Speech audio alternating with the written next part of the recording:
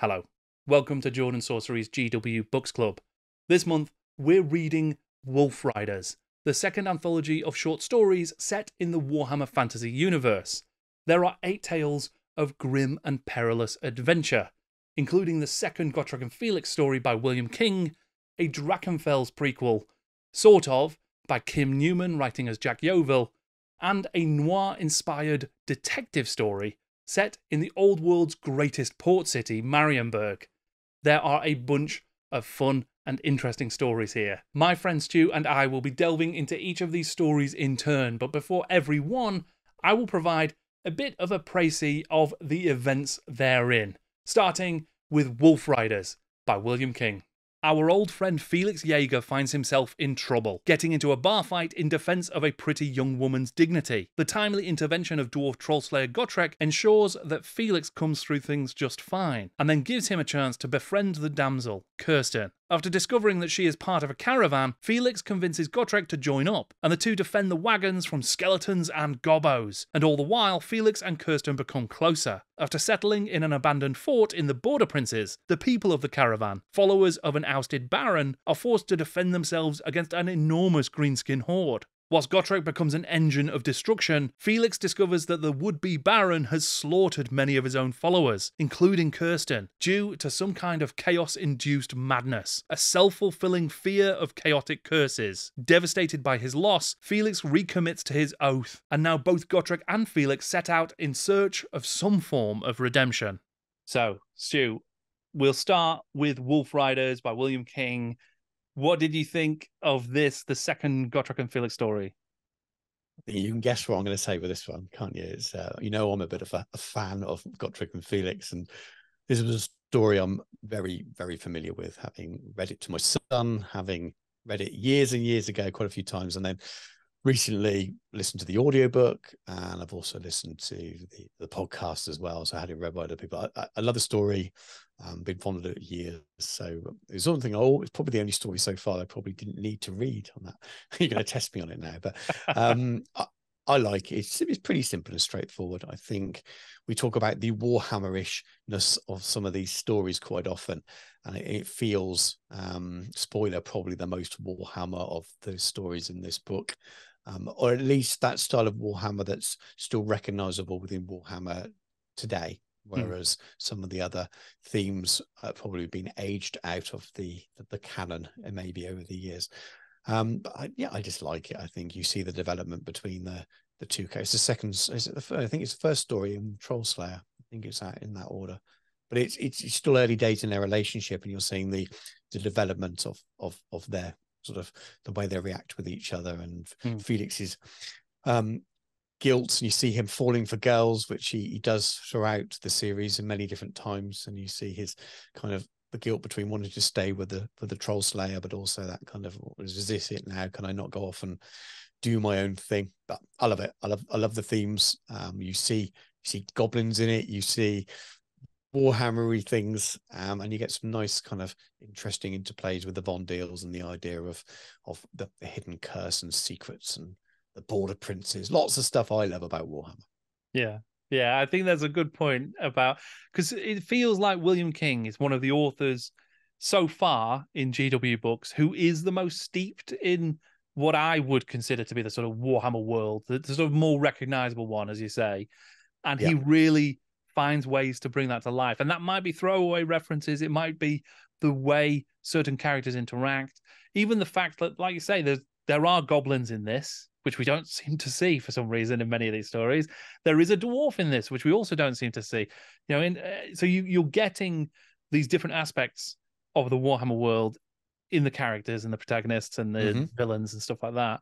But then the story itself does feel very close to Warhammer Fantasy Roleplay again. So in the first the first story, Geheimnisnacht, which was very much an adventure for a mm-hmm. Warhammer Fantasy Roleplay party, it felt like. This yeah. one feels like the backstory for a Warhammer yes. Fantasy Roleplay PC in in Felix's tale. Um, mm-hmm. And yeah, it's not the most complex story, and there's maybe some elements that haven't aged that well, which we can come to um, just in terms of tropes and stuff like that and devices within storytelling. But as a story itself, as the second story about these characters, Gotrek the Troll Slayer and Felix, his human friend who's made an oath to follow him, this really did feel like it span- expanded their sort of story and gave me who this is the first time I'm reading these stories, it gave me like way more of a sort of depth to the to the yeah. characters, uh, and it, it was effective in saying, okay, let's find out more about Felix now. And I hope that the third story, which we'll get in the next anthology, does a little bit more on the Gotrek side as well and, and gives us more of his backstory and you know mm-hmm. continues that tale. So very effective kind of Empire Strikes Back middle story out of three, it felt like to me. yeah, I suppose it could work that way.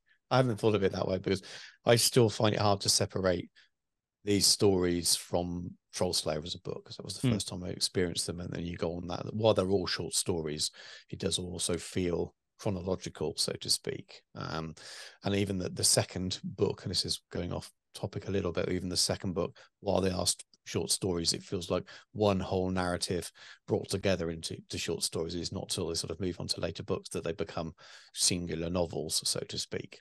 So I still see it within the context of their overall story rather mm. than it kind of being a three part spread over some some some some compilation books like this one. But um I, I think again, sort of comparing it to other stories in this book, the the Warhammerness from it, he seems to be he, he gets dwarves, he gets Empire humans, maybe better than some of the other stories do. They're definitely recognizable, I mm. would hmm. say, as the Empire was in Eighth Edition.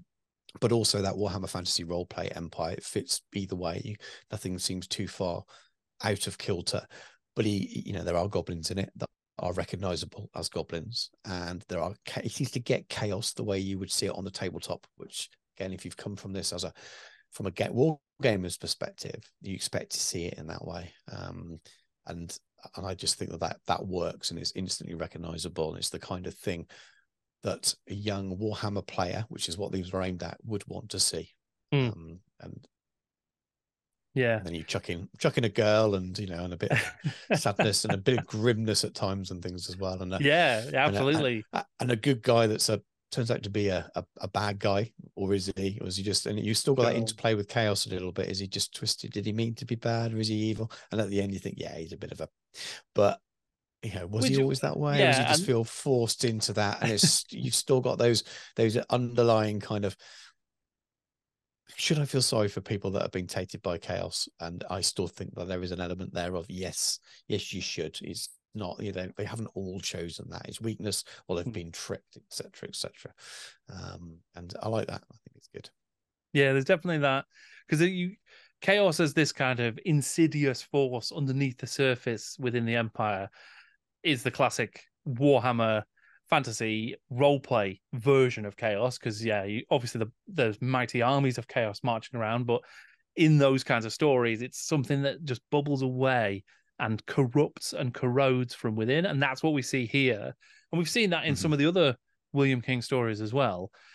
But seeing this this sort of would-be baron who has discovered that his father was fully mutated by chaos and his his own like retainer had kept him in the in the tower and kept him sealed away so that no one would see this mutation and then that has caused the the young manfred von Diehl to kill him and sort of take on this mantle of leading his people and they've been ousted from their lands as a result of all of this sort of upheaval but then he is still even though he's sort of you know doing the right thing for for his people he's still found himself corrupted by chaos but maybe not physically in the same way that his father had yeah. been you know sort of eh, more in like his yeah and, and so that has just corrupted his mind and led him to think this curse is something that's going to lead to the destruction destruction of these people. So he's going to enact it and sort of you know yes. bring the curse to life.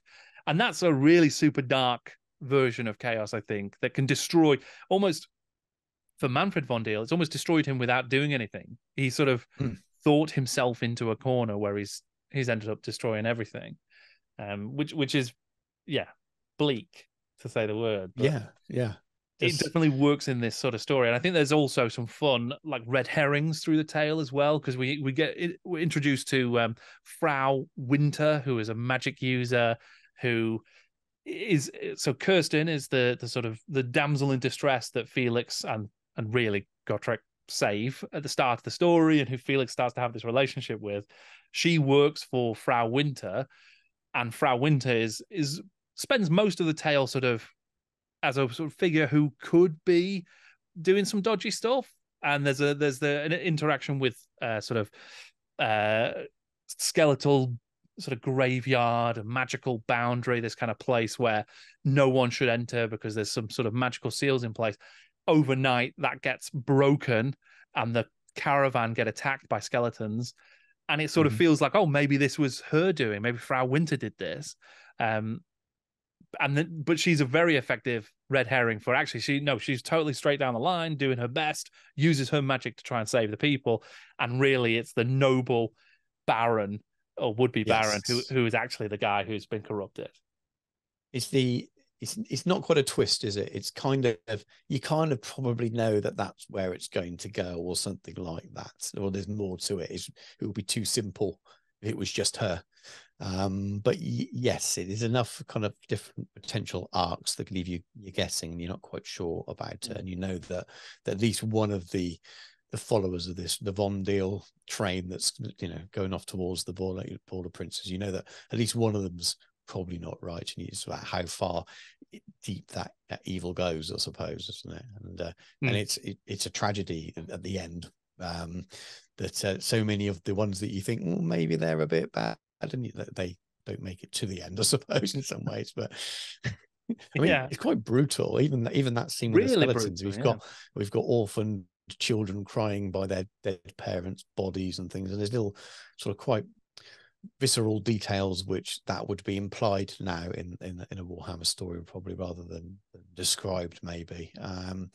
but um, yeah, I, I quite there's a lot of interesting, likable characters that you can imagine um, being in other stories, and well, I suppose some of them are in some ways, or at least talked about. But it's, um, I, I, I yeah, I love it. Yeah, that, that's the fight scene with the skeletons was really intense as well. I thought, like, really well done, very edge of your seat sort of stuff.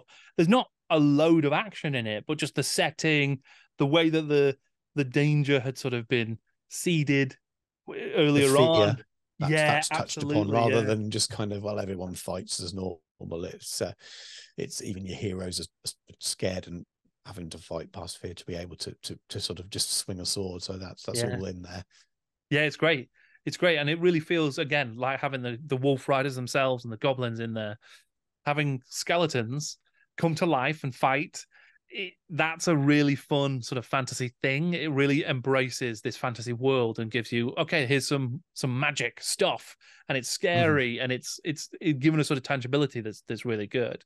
Same yeah. with the use of magic. So when Frau Winter defends the fort towards the end of the story, she's using this magic lightning to attack the goblins who are sort of attacking all these greenskins who are attacking their fort. And it's really given a weight. It feels powerful. And I yeah. quite liked that because it there's always this difficulty in the sort of distinction like how magic is treated in Warhammer Fantasy roleplay versus Warhammer Fantasy battle. Because in the mm-hmm. roleplay game, much lower level, magic is much sort of rarer and kind of a lower fantasy world through that sort of lens. In fantasy battle, magic is super powerful. And it still it yeah. makes sense because obviously your greatest wizards are marching to war to defend the world or to conquer yeah. it. So you can you can sort of square that circle of why it's different.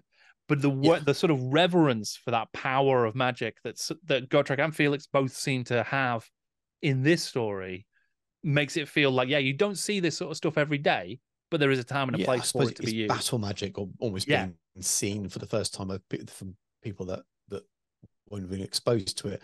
Gotrek probably fought in lots of battles dwarves not really known for their magic. Sure. uh, um, or maybe in this era era they they were actually. But um, and then uh, yeah Gotrek's never been in the um, Felix has never been in the military has he? So he's probably not seen those things. He's only heard of those things. So yeah that kind of magic that would almost fit into Harry Potter in yeah. sort of practical daily basis kind of things to big fireballs and electric shots and things like that is, is different. Yeah and it's good. Hmm. it reads it reads very well and it's quite it dramatic isn't it what did you make then of the so the death of Kirsten? So so Manfred von Diehl in enacting this chaos curse, killed everybody yeah. pretty much, including Kirsten, who Felix has now fallen in love with, thought he was going to retire and leave Gotrek behind for this yeah. woman. She's killed in that. And then it sort of galvanizes Felix to to continue his quest. Like, what were your thoughts on that as a as a device? I, I mean, I think it's done as the device for the future of Gotrek and Felix as, sure. a, as, a, as a as a duo, really. Um, and so I think it's powerful when you don't have a happy ending in things. Um, and it was, I think Warhammer, lead, you know, leads to not always having a happy ending, having a slightly kind of mm, okay, the hero doesn't always fully win, um, and they win, but there's severe costs to their winning um, physically and the, the, the friends and, and, people that they they've lost, and obviously Gotrek loses an eye. So you know, there's there's there's there's lots goes on there So yeah, I think I'm not surprised that she was killed. I don't think I was surprised. Was I surprised the first time I read it? Too long ago now to remember, but I'm not surprised. And I think that it was almost a way of saying, "This is it now." That they almost cements their duo. Hmm. You know, that was the kind of the the the, the lost eye um, Gotrek completely battered. You know, really, really barely survives the battle, um, and and then Felix's heart probably doesn't survive the battle and the journey, and and it's almost like that's what hardens them as a duo, and then they go on and have lots of other adventures. But uh, it's um it's quite a, a, grim. It's almost like a western when hmm. they're they're like like a, a, a train going out to the, the the unknown Midwest, and they're attacked by natives or something, isn't it? The amount of times they're put in danger, they go to different towns and things. So it almost feels like a, a western where by mm. the hmm. end of it, it's a bit of a tragedy, and the two gunslingers go off go off their own way because what they kind of joined on to was practically destroyed by the end. I think there's only a few left, isn't there? And they yeah. hopefully, I think it says bit of a throwaway line, but there's so few of them now. They hope they'll be taken in by another small town in, in, hmm. in the Border Princes. So, but yeah, I think she was. It was very much we're going to kill her, so you know that Felix can't have a relationship. Yeah, you know, he's he's going to have to. His, yeah. his, his his man his man wife, which is or dwarf wife is is Gotrek and will be for the time being. yeah, and it, what about you? What did you think? well, yeah, I mean, just on that general point about it, the sort of Western feel, yeah, I totally agree. And it, it really does have that kind of vibe. And the Border Prince is painted as this kind of Wild West, feels like what they were going for with that aspect of the setting as well. So mm-hmm. it, it really works for that, I think. The stuff with Kirsten, I think it as a device, it does work and it gets you exactly to where you're saying. You know, you do get to this place where Felix now has realized the sort of happy life isn't going to be possible. He's bound to Gotrek and he's bound to this oath and this this sort of quest for redemption. So it definitely works to get them together and, and sort of explain why Felix, who in the previous story maybe wasn't quite as committed to to Gotrek. He was there because he'd made the oath, but he he was complaining about it to himself, and he, he didn't really seem like he wanted to be there, which I guess will be a continuing theme anyway. But at least yeah. now the resolve makes more sense, I think. Yeah. What I would say though is that this is very much of that sort of trope, and you see it quite a lot of. Um, it's described in comic books as the fridging of of the female character, the mm-hmm. girlfriend character who exists purely to get killed, and then to give yeah. sort of man pain to the hero and cause the hero to want to get his revenge and go off and do whatever. And it, it's been used again and again and again. It was, you know, terrible in comics for it, just lousy with it through the 90s and, and, and you know, earlier as well. And it still unfortunately does happen. So I think it would have been better to get a little bit more of Kirsten and sort of understand more about her. She doesn't really exist as a character. We see more of yeah. Frau Winter really as a character than of her. All we know is how Felix feels about her. I don't even think we yeah. get a strong sense of her affection for him to be honest. Well, you don't. Yeah, he might just yeah. be. I, I, I think there is an element of his character that is he's young and mm. he's inexperienced, and maybe he's thinking with the wrong parts of his body and misunderstanding sure. his his misinterpreting his his feelings and what they really mean. Yeah, and, uh, I can completely believe man, that. Man, yeah. man in my, my mid forties now, I can remember remember being in my early twenties, which is what I think. I assume that Felix is supposed to be at that age, sort of thing. And yeah, you definitely think in a different way. And sure. um, I think as the stories progress, again, this is a risk of talking about future Gotrek and, and, Felix stories, and that might be a lovely discussion one day, just to sort of talk about how the, the characters develop. But there are quite a lot more female characters, and they're not all throwaway kind of um, eye candy for Felix. There, there, there's some pretty strong female characters later in the in the in the series that stick around for a lot longer, um, and they do play on yeah, his romantic sort of feelings and his feelings of love and wanting to settle down. So that's still there. So that those those are used again, but it's um I think more here it was to move the to mm. define those characters. So yeah, probably in the way you said, but it's it doesn't quite set them up for that's it now. He's grim for life and he's never touches, you know, he, he, ignores women, he loses his heart. He can he's still the same guy, but he just gets a little bit sadder and a bit grimmer as as as he progresses through through the future stories.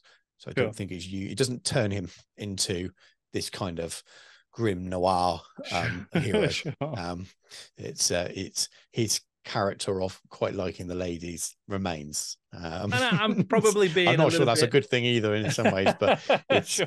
I, I, think it was more a device to cement their relationship and, and say, right, well, he can't. This is he mm. can't disappear off this this duo staying together. Yeah, and, and if I'm... that was it more than to set him up as a, a grim kind of um, heartbroken person. There's elements of that in the later stories, but there's also a lot to suggest that he does get over it as well. Sure. Yeah, I'm probably being a little bit too harsh as well. You know, I'm obviously yeah. looking with modern sensibilities back at something written, mm. you know, in 1989. So yeah, it's probably not that fair to to call it out and sort of and leave it there. I, it works within. It would have been his children story. that were killed now, wouldn't it? They would. but like, it, it does. It, I, I, think I'm just calling it out it's a bit of a shame. I yeah. think I would have liked more in that, but it does work and it doesn't undermine the story for me. I still really enjoyed this, and I think this was probably, you know, I, I going into Wolf Riders the collection. This yeah. was a strong start, much like Ignorant Armies, starting with a William King, Gotrek and Felix story, incredibly strong opener, and definitely filled me with a lot of excitement for what's to come. Uh, actually, before we move on to what's to come, there's a couple of neat little bits of trivia that William King sticks into this story that I should mention. One yep. is a name drop of Detlef Sierck. Uh, yep. from Drachenfels, which I yep. loved. I thought that was great. Lo- lovely little bit of connective tissue to that. And then the other one was that um, Von Diehl, so the Manfred Von Diehl, the, the, sort of heir to the baronet, he is related to Kurt Von Diehl, who yeah. was the protagonist in Laughter of the Dark Gods, which was the second William King story from Ignorant Armies, who was a brother who was forced out of his inheritance and he had gone into the Chaos Wastes in order to get enough power to come back and claim his what yes. he thought was his birthright.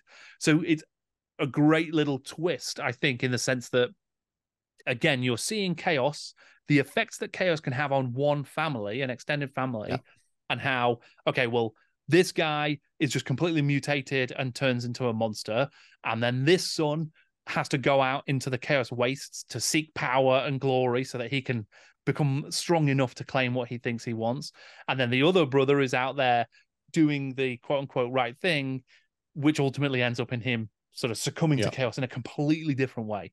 And I think that's a, yes. a very I want to say fun, which is probably not the right sentence to use the word, but it is a very uh, interesting, I guess, exploration of chaos and how brilliant. it can affect yeah. people. Yeah.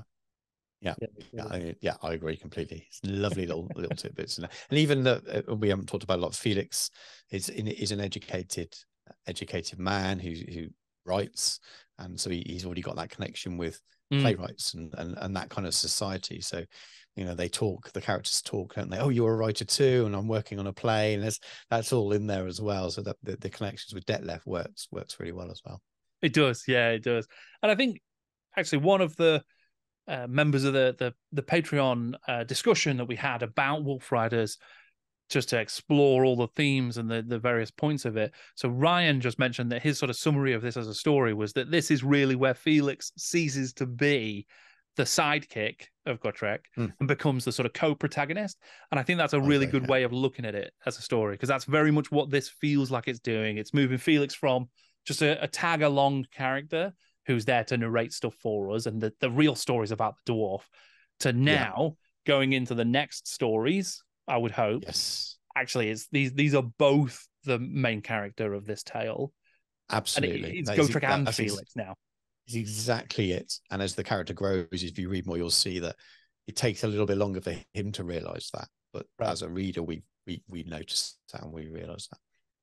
And that's an interesting sort of exploration itself. But anyway, we're not we're not we're not doing a There's time for that in the Felix future. series.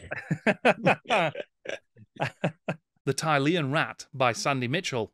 Halfling private investigator Buttermere Sam Warble is retained by a red haired elf in search of a small rat statue that was stolen from her lodgings. As Sam follows the trail of the missing MacGuffin across the seedy streets of fogbound Marienburg, it quickly becomes clear that the statue and the people who want it are not quite what they seem. But even the spectre of chaos cults, underworld contacts, dark elf femme fatales, and a good old fashioned twist in the tale won't stop Sam from completing his case.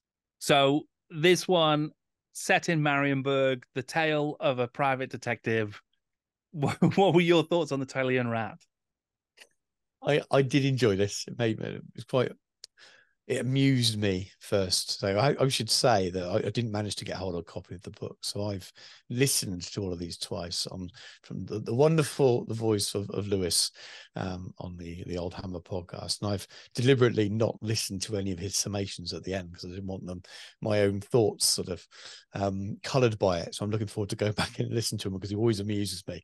Um, but um, so I've listened to everything twice, and the first time just listened to it normally, the second time making some some notes as I went along. So I, I really liked it. I think my initial notes um, were were this is this is Samwise Gamgee meets Columbo.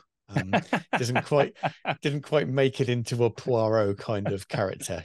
He's not he's not sophisticated enough. So it's more of a I imagined him more of a, a, a Columbo kind of character. I thought he was unusual. I think the original, just initial descriptions of Marienburg are lovely. Really kind of give you a, a feel for Marienburg as a, as a city and the way it works and the, and the fog and the mists coming in and things. So I thought that was done very, very well. Um, so I think it was well written. Um, there's no surprise with Sandy Mitchell's gone on to write quite a bit more for Black Library in the future. Um, and I thought that the overall tale was absolutely fine for a short story. I think it worked nicely. I thought it was amusing in places. I thought it was um, pace enough and length seemed to be fine as well. Um, yeah, and I just thought it was fine, really. I wasn't blown away by it, and I can look at it and fondly go, "Oh, "That was a relatively amusing story." And I probably would like to see more of of of Sam Warble again because there's enough about him, enough of his character that's amusing. Maybe it always felt like that about halfling character, um, but uh, it it it was good. And there's some characters in it. There's so many kind of detective story type tropes in there that I wasn't offended by. I thought they were quite good. So Hmm. you've got the the the guard chief who you know if you think of an uh, American private investigator, they always have a contact in the local police force that they get some behind the scenes information on. Sometimes it's a little bit fractious that that that relationship between them. That's in there with the with with the the, the, the chief watchman. Um, and you've got um Lisette as well, who's clearly sort of linked to the criminal underworld. And that happens as well in all of these PI things. So he's got his police connection, but he'll always have his semi-friendly connection to the to the mafia or something. It'll Yeah. occasionally give him a tip off or get some extra information. It's exactly what you get from these. So I think that you know you could this could have been written by Jim Butcher. Um it's it's and I like that because I love his love his books and things. So I liked all of that um, and would be really interested to see a full length novel Mm. with these characters developed properly, or really got a crunchy story all set in, in Marienburg and those characters really pushed out a little bit more. Um, you know, we've got fairly recognizable chaosy stuff in there as well. I think it's Um, it's from a different side. So you've got witch elf with you know Khaine worshipper. I Hmm. think Slaanesh worshipper maybe for the for Erasmus and his little um snotling. but um I, I liked it. It was good. and It was a nice, fun story. Made me chuckle at a few places, and, and very recognizable, as I said, as a, some kind of US-based private investigator. Yeah, I mean, it's, it's fully leaning into noirish fiction. It's it's the Maltese Falcon, but what if we stuck it in to the old mm. world instead, right? And yeah, I agree. I think it's a really fun idea, and taking all of those tropes, just grabs them all and finds a way to make them work in this setting. You know, even down to the femme fatale. Except, yeah, she's a witch elf, and, and there's this Yeah. dark sort of evil stuff going on. I enjoyed it. I really had a good time just spending some hours, well, within the story, spending this time in Marienburg, wandering around, going to see contacts, trying to sort of follow the leads. I think Sam was a really fun character and just like playing up that what if a halfling was a private detective thing. It works surprisingly well. And I agree. I'd love to see more stories. I mean, there is another Sam Warble story to come, which is fantastic. I'm looking forward to that. Yeah, me too. I had been looking forward to this story a lot because obviously I'm super into Marienburg at the moment. I've been super inspired by it. So knowing that there was going to be a, a story like this in this set, very high hopes. And for the most part, it lived up to it for me. So I had a really good time reading it. I enjoyed it.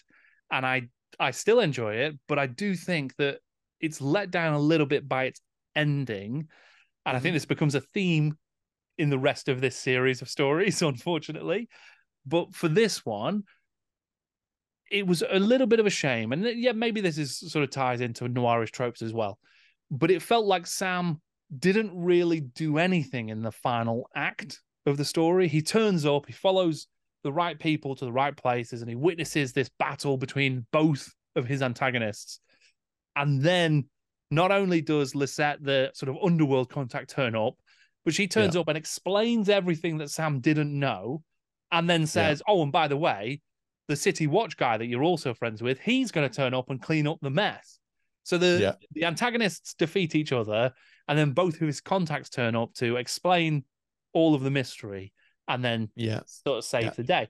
And it's not the end of the world, but it just felt like a bit of a sudden, a bit too passive an ending for Sam. He didn't, he wasn't responsible for solving anything, and I think that's a bit of a shame for me. Does he? He's almost like he needs some muscle. He needs a he needs a sidekick that can help Potentially, him out yeah. in the areas where he physically can't intervene. Because it Yeah. got to the point in the story where it would be ridiculous if he, he was somehow able to outfight but then that's what I the think big bads.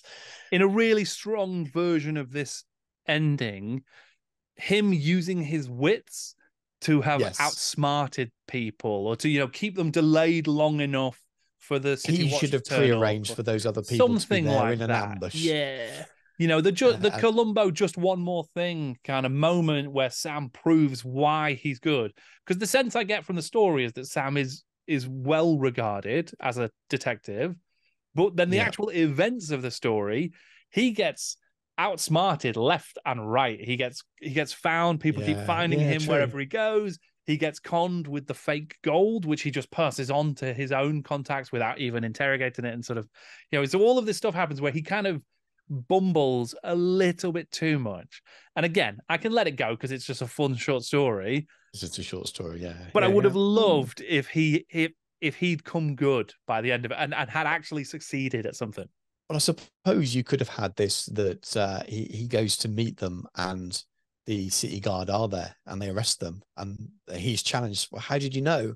And then he does the the, the stereotypical end of a PI type thing where you you he tells how you know well you yeah, he's he's worked I realized out you were or- wrong. And Yeah. explains how he how he got to the bottoms rather than Yeah, it being yeah. told to us earlier on. Yeah. Um, that he doesn't find out and he goes to meet them and then they get arrested and he explains how he knew what they were up to. Yeah. Um, that would have been well, you would have finished the trope off then, wouldn't you? It would have become Yeah. um an Agatha Christie, maybe. but and then maybe it was the point of the story was that yeah he's he's actually not the best detective and it's an absurd idea in the first place but it, it didn't quite feel like it went far enough to make a sort of parody of those things. Yeah. It felt like it was leaning into it in the in the sort of homage kind of sense rather than the sort of parody sense. So yeah. for so me- maybe they didn't want to make it too parody. yeah, it just did uh, it didn't quite stick the landing, I think. But like I say, I really enjoyed it. There were some really fun details in there as well. Like I said, Marienburg is a really nicely drawn location for this. There's some cool character stuff. There is the Snotling Associate that is just a very odd choice, but fantastic. I love it. And it's such a clean snotling. He's been described at one point. yeah. It just is a really good uh, when you put him next to this huge hulking, almost kingpin style bulk of a man that is the chaos Yes. sort of worshipping villain. Like it, just to have a lit, tiny little snotling is also it, it, it's his pal. That's such a fun idea. I'm I'm really behind that. yeah, yeah. I I liked it. I'm really looking forward to the next Sam Warble story and see Yeah. whether he uh, see whether he's just hapless and bumbles along in that one as well. He's not completely hapless, but He's not he's happy, definitely but unremarkable. yeah, He just But knows yeah. some people, doesn't he? That's that seems to be his ability to be a pri- private investigator. He knows people. and I yeah, I look forward to the next one. I know he also turns up in uh, Warhammer Fantasy Roleplay as a as a sort of character archetype as well. I think it's a shame that that seems to be almost the sum total of his appearances because I think it's a fun character. I, I could imagine loads of stories with this guy. Yeah, maybe they just didn't know what to do with it because he maybe he can't. Maybe he's not used to the fighting style of stuff. Maybe he's far better suited to, I don't know, track down a copy of Fly Fishing by J.R. Hartley rather than rather rather than deal with Daughters of Khaine. I, uh, maybe that's it. Maybe they ran ran to the end of the road with it. May be nice to see him turn up in other things. I'd love to see him turn up. yeah, Gotrek Oh, and yeah. Felix novel, which I don't think he, I don't think he does, but, but I did enjoy it. It was as a short, and that's it. Every time I thought, well, this is a little bit, and I have to remind myself that this is this is a short story. This is Yeah. A standalone, as at the time written short story as well. Or, or it's not like it's a, a short in the middle of the vast Horus Heresy series, Horus Heresy series, where that short is an important narrative Hmm. for the, the wider story. These don't really have much of an impact on, on anything other than what you're reading. yeah, just the flavor of the world, a little vignette to expand the Warhammer Fantasy universe. The Phantom of Remy by Brian Craig. A high class cat burglar has been targeting the upper class Bretonnian city of Remy, committing seemingly impossible yet trivial thefts of small keepsakes and other unimportant items. The town's most famous judge, Voltigeur, a well regarded man of the law who delights the people with his perfectly inventive punishments, directly inspired by the crimes committed, has indirectly become the target of this phantom. He hires armed guards and has his oldest friend and clerk, Malchance, keep watch outside his bedchamber. Still, the phantom manages to gain access and taunts the judge. But with no evidence of the encounter, even Malchance must question the judge's story. Voltigeur is indignant and fires his once great friend, braving the next night alone. But who should reveal themselves as the phantom but Malchance, seeking revenge for the treatment of a woman he loved but who married the judge. Malchance has framed Voltigeur and kills him in a fashion that suggests self infliction, ensuring that his name will live on in infamy, the perfect punishment. So, the Phantom of Remy, this it's a sort of like a heist cat burglar story, but it's also a story of revenge and and a, like a curious tale of a Bretonnian city. I mean, what, what were your thoughts on this one, Stu? How do you feel about this? I thought it was very Brian Craig kind of um I don't I think it was quite nicely written. Mm. Um but again it feels like he's just having some fun within within a few few thousand words really. It's, it's hard. I didn't I didn't unlike I didn't dislike it.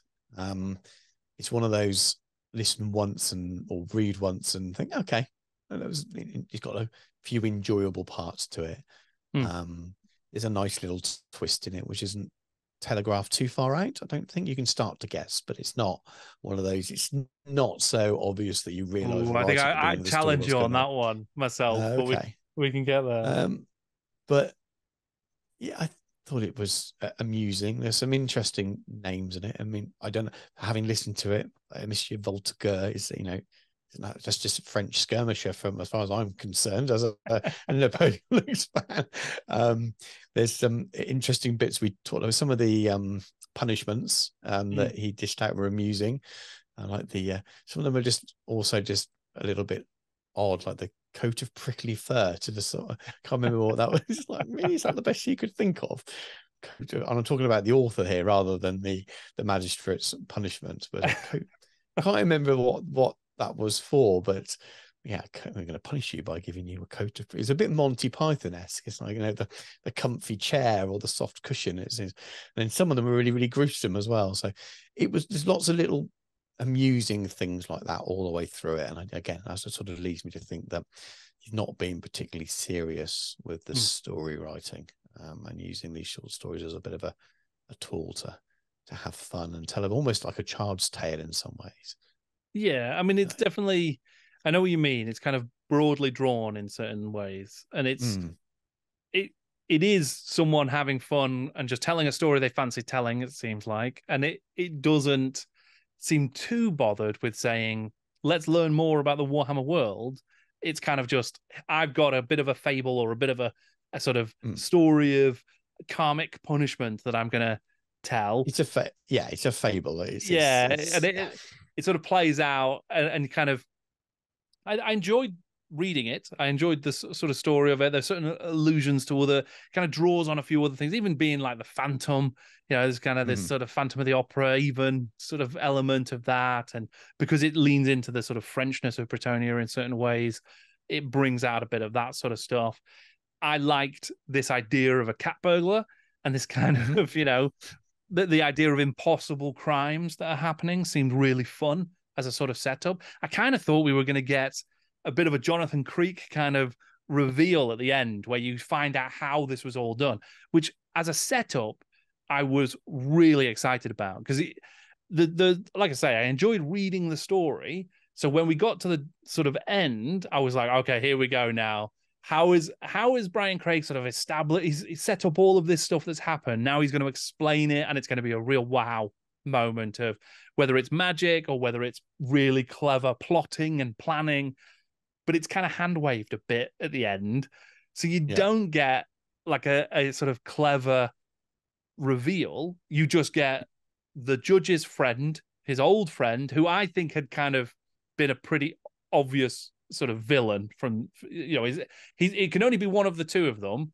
And the Yeah, story's more is going to be more of a sort of interesting well i guess it could have been a more interesting reveal of if it was the judge i suppose. But it's malchance his clerk his old friend they're love rivals but the the woman that malchance loved had married the judge instead.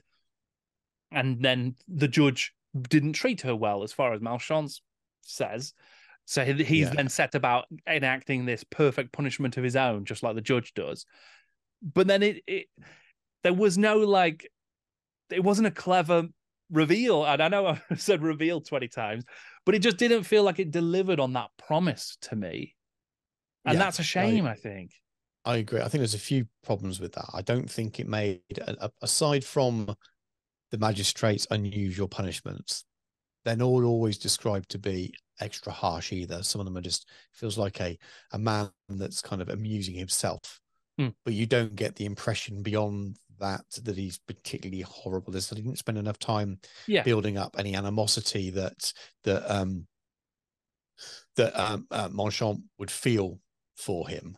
So that again, that's that you could have you could have spent a little bit longer setting the scene there, making him out to be a bad person. Because I was left at the end thinking that, yeah, well, Voltager is probably a bit of a, but then Montchamp's also a conniving, jealous, uh, driven mad almost. His, his reactions aren't a suitable uh, you know that the jealousy for a, a widow as well the the wife is long dead as well Yeah. still feel you need to um enact this kind of level of revenge because she chose someone else it's not even Exactly that he was this. tricked out of this Yeah. and i don't think that they built that at the beginning i don't think you built up voltager to be bad enough to feel like he deserved this Yeah. yes he's not the, the best man in the I world completely but God, he's agree. not evil either Yeah. um and Well, he's we don't- definitely not it- evil within that kind of setting Exactly. And what we don't get is any kind of there's no abuse of power. I mean, you could say, well, some of his punishments are cruel and unusual,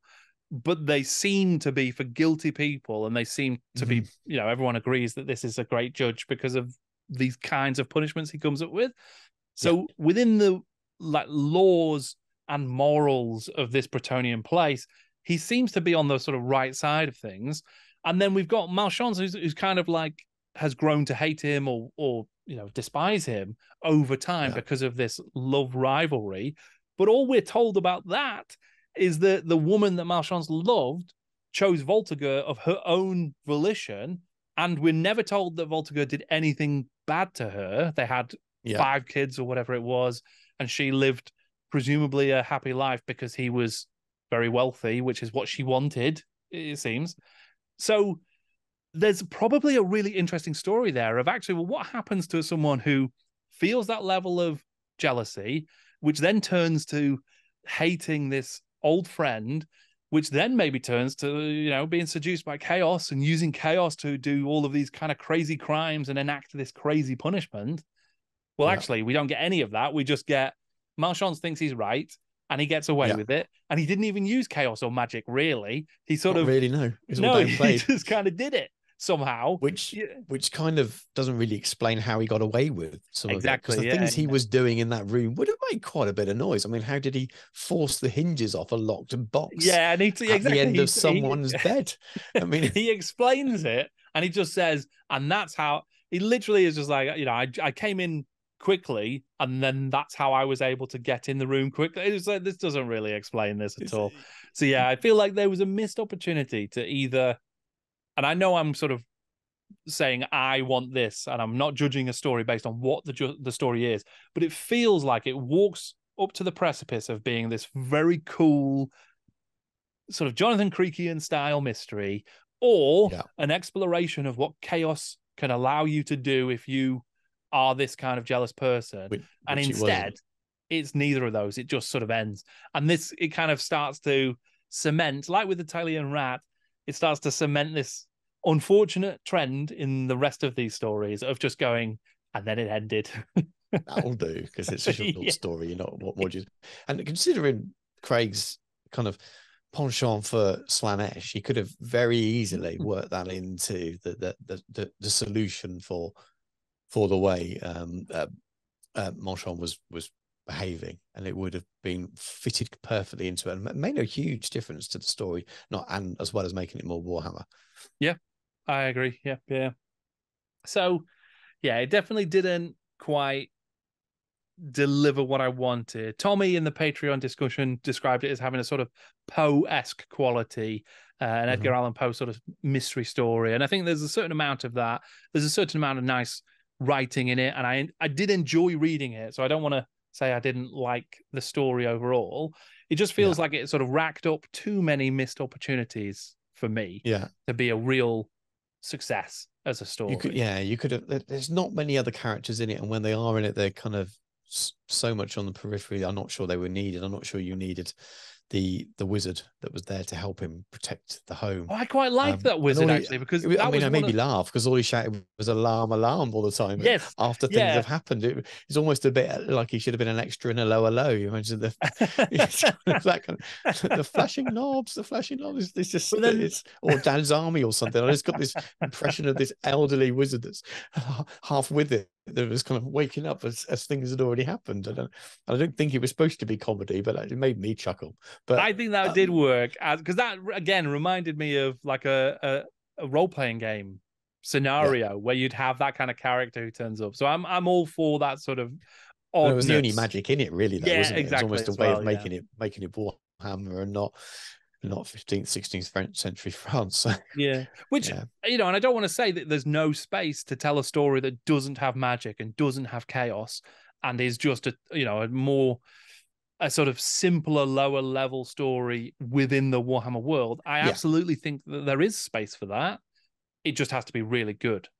If you're going to do that, if you're going to choose to do that in this world where you've got so many tools that you could pick up and use, and you choose not mm-hmm. to, then you better be delivering something that's really special. I would say. yeah, I think that point, but as an overall editorial piece about a whole book of short stories, if they're all doing that, as we'll come on to, sure, it, that's where it's noticeable more because there's nothing wrong with having a story that's that's very low fantasy within a collection of others that, show other areas of the world, but that they seem to show very familiar Hmm. areas of the same parts of the world that, that don't really seem to be the main part of the world that we're all playing in and wargaming in, I think. And that's why it's, it's Yeah. also strange. Yeah, and well, whilst we're on that, it's an interesting point here, just around, like you said about Brian Craig, sort of has his uh, particular favorites, Slaanesh, and he likes to Mm. set stories in Bretonnia.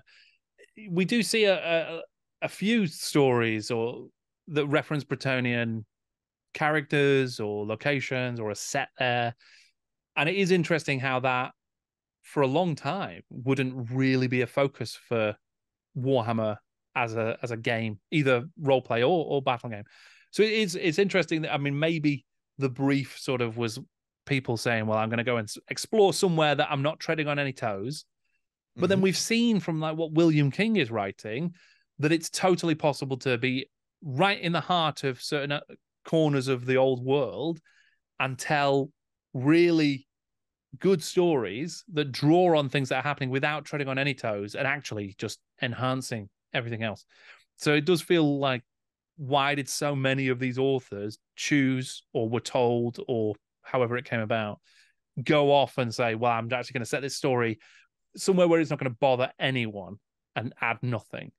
I think it's just down to knowledge and, and really getting the, Maybe, the yeah. universe that they're writing in. And and if you're writing in a you read you've got a copy of Warhammer Fantasy Roleplay and you can imagine medieval France, you're it's a lot easier than kind of doing the extra research or really getting into a, Mm. a- and, and having to invent more because you don't have to invent much when you're just writing writing from that historical Yeah, that's true. That's why it all seems to be that or or Germany, doesn't it? It's which is fine. I don't mind that. I quite like those parts of the old world, but it's if you're writing from you know from a, a a perspective of not really knowing those worlds as well as some other people, you can get away with it.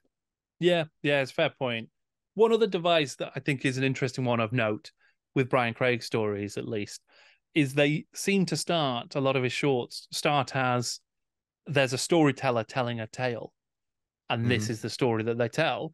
And there was a good discussion that we had in the in the uh, in the live chat where it was like, is this the story or one of the stories that Orfeo tells? So the minstrel character from Brian Uh, Craig's okay. trilogy of stories. Uh, he is a storyteller. We're told he goes around and he tells stories all over the world. Both Brian Craig shorts in this collection start with a storyteller telling a story. Never explicitly says it's Orfeo or, or really even hints that it is, but it could Yeah. be. And that Yeah. I it think have is been a nice, nice if he did idea. say yeah. it was. I think it would have been nice, yeah, if it, it instead of a storyteller tells this story, if it's Orfeo sits you down to tell you one of the tales mm-hmm. of whatever, quite like that. would have been quite cool, yeah. But then that does open the door, unfortunately, to the fact that at least I personally think the stories that were alluded to in the Orfeo book in Zaragoz, where it says Orfeo told this really cool story about knights on quests with magical items and curses and all this sort of stuff, sounded really fascinating. And then there's a couple of others like that that sound really interesting. Why did Brian Craig not tell those stories? Like they they sound like they'd be really fun Warhammer tales. So I don't know hmm. why he's chosen to tell this one, and there's another story coming up when he could have told another like Orfeo related story that would have been more fun, perhaps. I suppose one is just a description of what the story may be about. Yeah. and, and is is a, isn't a story. It's just a, a couple of lines describing a story. Whereas this actually means you've got to write the story, and, and it's a lot easier to do that when you've only read the Warhammer Fantasy Roleplay. And uh, Yeah, I guess as well. You're right. It's it's easier to just say, and then Orfeo told a story that was amazing, than actually write the amazing story that Orfeo told. it was So- epic. You heard a lot of the rings. Well, this is Cry of the Beast by Ralph T. Castle. Thomas lives with his halfling guardian Brody in a beach hut somewhere in Estalia. At night, there are sometimes weird sounds, but Brody insists it's nothing. One night, a half drowned, stricken elf maiden washes ashore, and Thomas feels the fires of attraction for this new guest. In the night, the elf is drawn to an illusion of her lost brother before being dragged away by a hideous monster. Before Thomas can pursue the beast, Brody finally tells him the story of his father, an innocent man whose wife was taken by chaos and who became consumed by vengeance, a quest that cost him his life. Despite Brody's warnings, Thomas tries to save the elf, but he is too late, discovering only her remains. A great fight with the Chaos Beast ensues. This champion of chaos only just bested by Thomas thanks to a handy dash of luck. And then Thomas finds a necklace that reveals the truth of this beast. It was his father all along, or at least what his father had become. Cry of the Beast, this Mm. was the only story written by one Ralph T. Castle as far as I can tell, the only story written by Ralph T. Castle of any type in any book ever. So this person only wrote one short story for GW books. Um, so whether or not it was a pseudonym or not, I don't know. Might have just been someone who submitted a story or what have you. But this one, I, I I'm going to tip my hand very early. I, there's something about this story that really frustrated me and I mm-hmm. didn't. I, I it just didn't come together for me this one, and I, I think because it's so simplistic and also so full of like contrivance and convenience in the sort of Yeah. storytelling space that it, it's just not satisfying at all.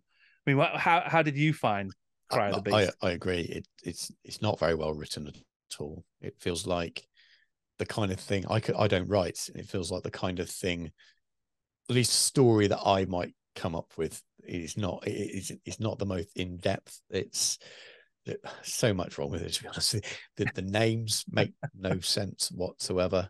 Isn't it supposed to be set in Talia? We've got Thomas Brody, Brody the halfling. It's this.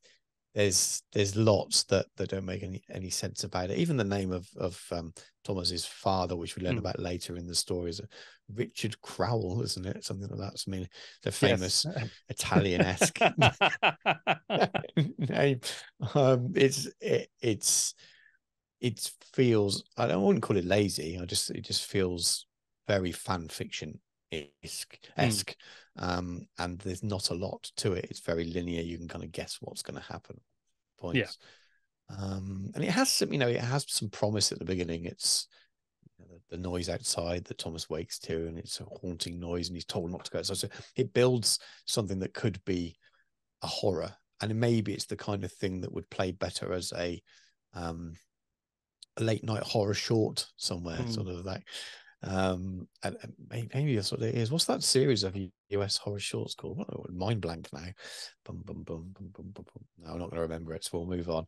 Um, but the, it feels like the kind of thing that I would have watched on telly um, as a half half an hour program as a as a teenager. uh, uh, sure, like an Outer Limits 4, or a Twilight Zone or Twilight Zone. That's what I was thinking of. So it feels like that kind of level of story that would have been on at two a.m. on a on a on a Saturday night when I was when I was a kid or something. But yeah, it's it, uh, it's that kind of level. It almost you could see how that as an outline for a story would work better as something on the screen rather than as a piece of writing where you've got more space to actually, you know, describe more, go a little bit more into the characters. I just it's very hard to sort of really talk about it because it's all so plain and straightforward. I suppose yeah, it's a bit there's there's more- not much depth to anything. Yeah, I'd agree with that. It feels, and I, I you know, I don't want again. I don't think it was lazy. It feels maybe it might have been a bit rushed, perhaps, Mm. or didn't have, you know, the the additional drafts and the sort of tightening up of a story that you might want. I mean, theoretically, this tale of a young boy who's been raised by a halfling who encounters this elf maiden whose ship has been uh, shipwrecked and there's then a chaos beast that's pursuing them and there's also this tied in story of the the young boy's origins and how his father has been sort of lost to chaos but has returned now unknowingly sort of you know is and sort of was watching over him as a chaos creature now so there's there's Yeah. kind of okay, that that could be a cool story, I guess, if if written in an interesting way. But I don't feel like it comes together. It feels like um, feels like the backstory for an RPG character that uh, a teenager yes. might come up with. Yeah. You know, I'm a 15 year old lad. I want to make my, I'll make him 18 because, because obviously I'm looking forward to when I'm 18 and I want to be a, bigger man.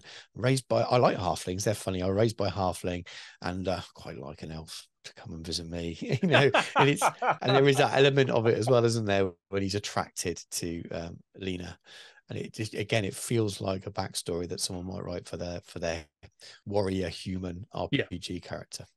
It does, and I, and I think not the only story in this collection that has a similar. The, the, the sort of ending is, and now the big quest begins. So this Hmm. this is like the the prelude to a good story. So Yeah. this is a half baked, if you know, you want to use that sort of cruel language, half baked backstory to the really interesting tale.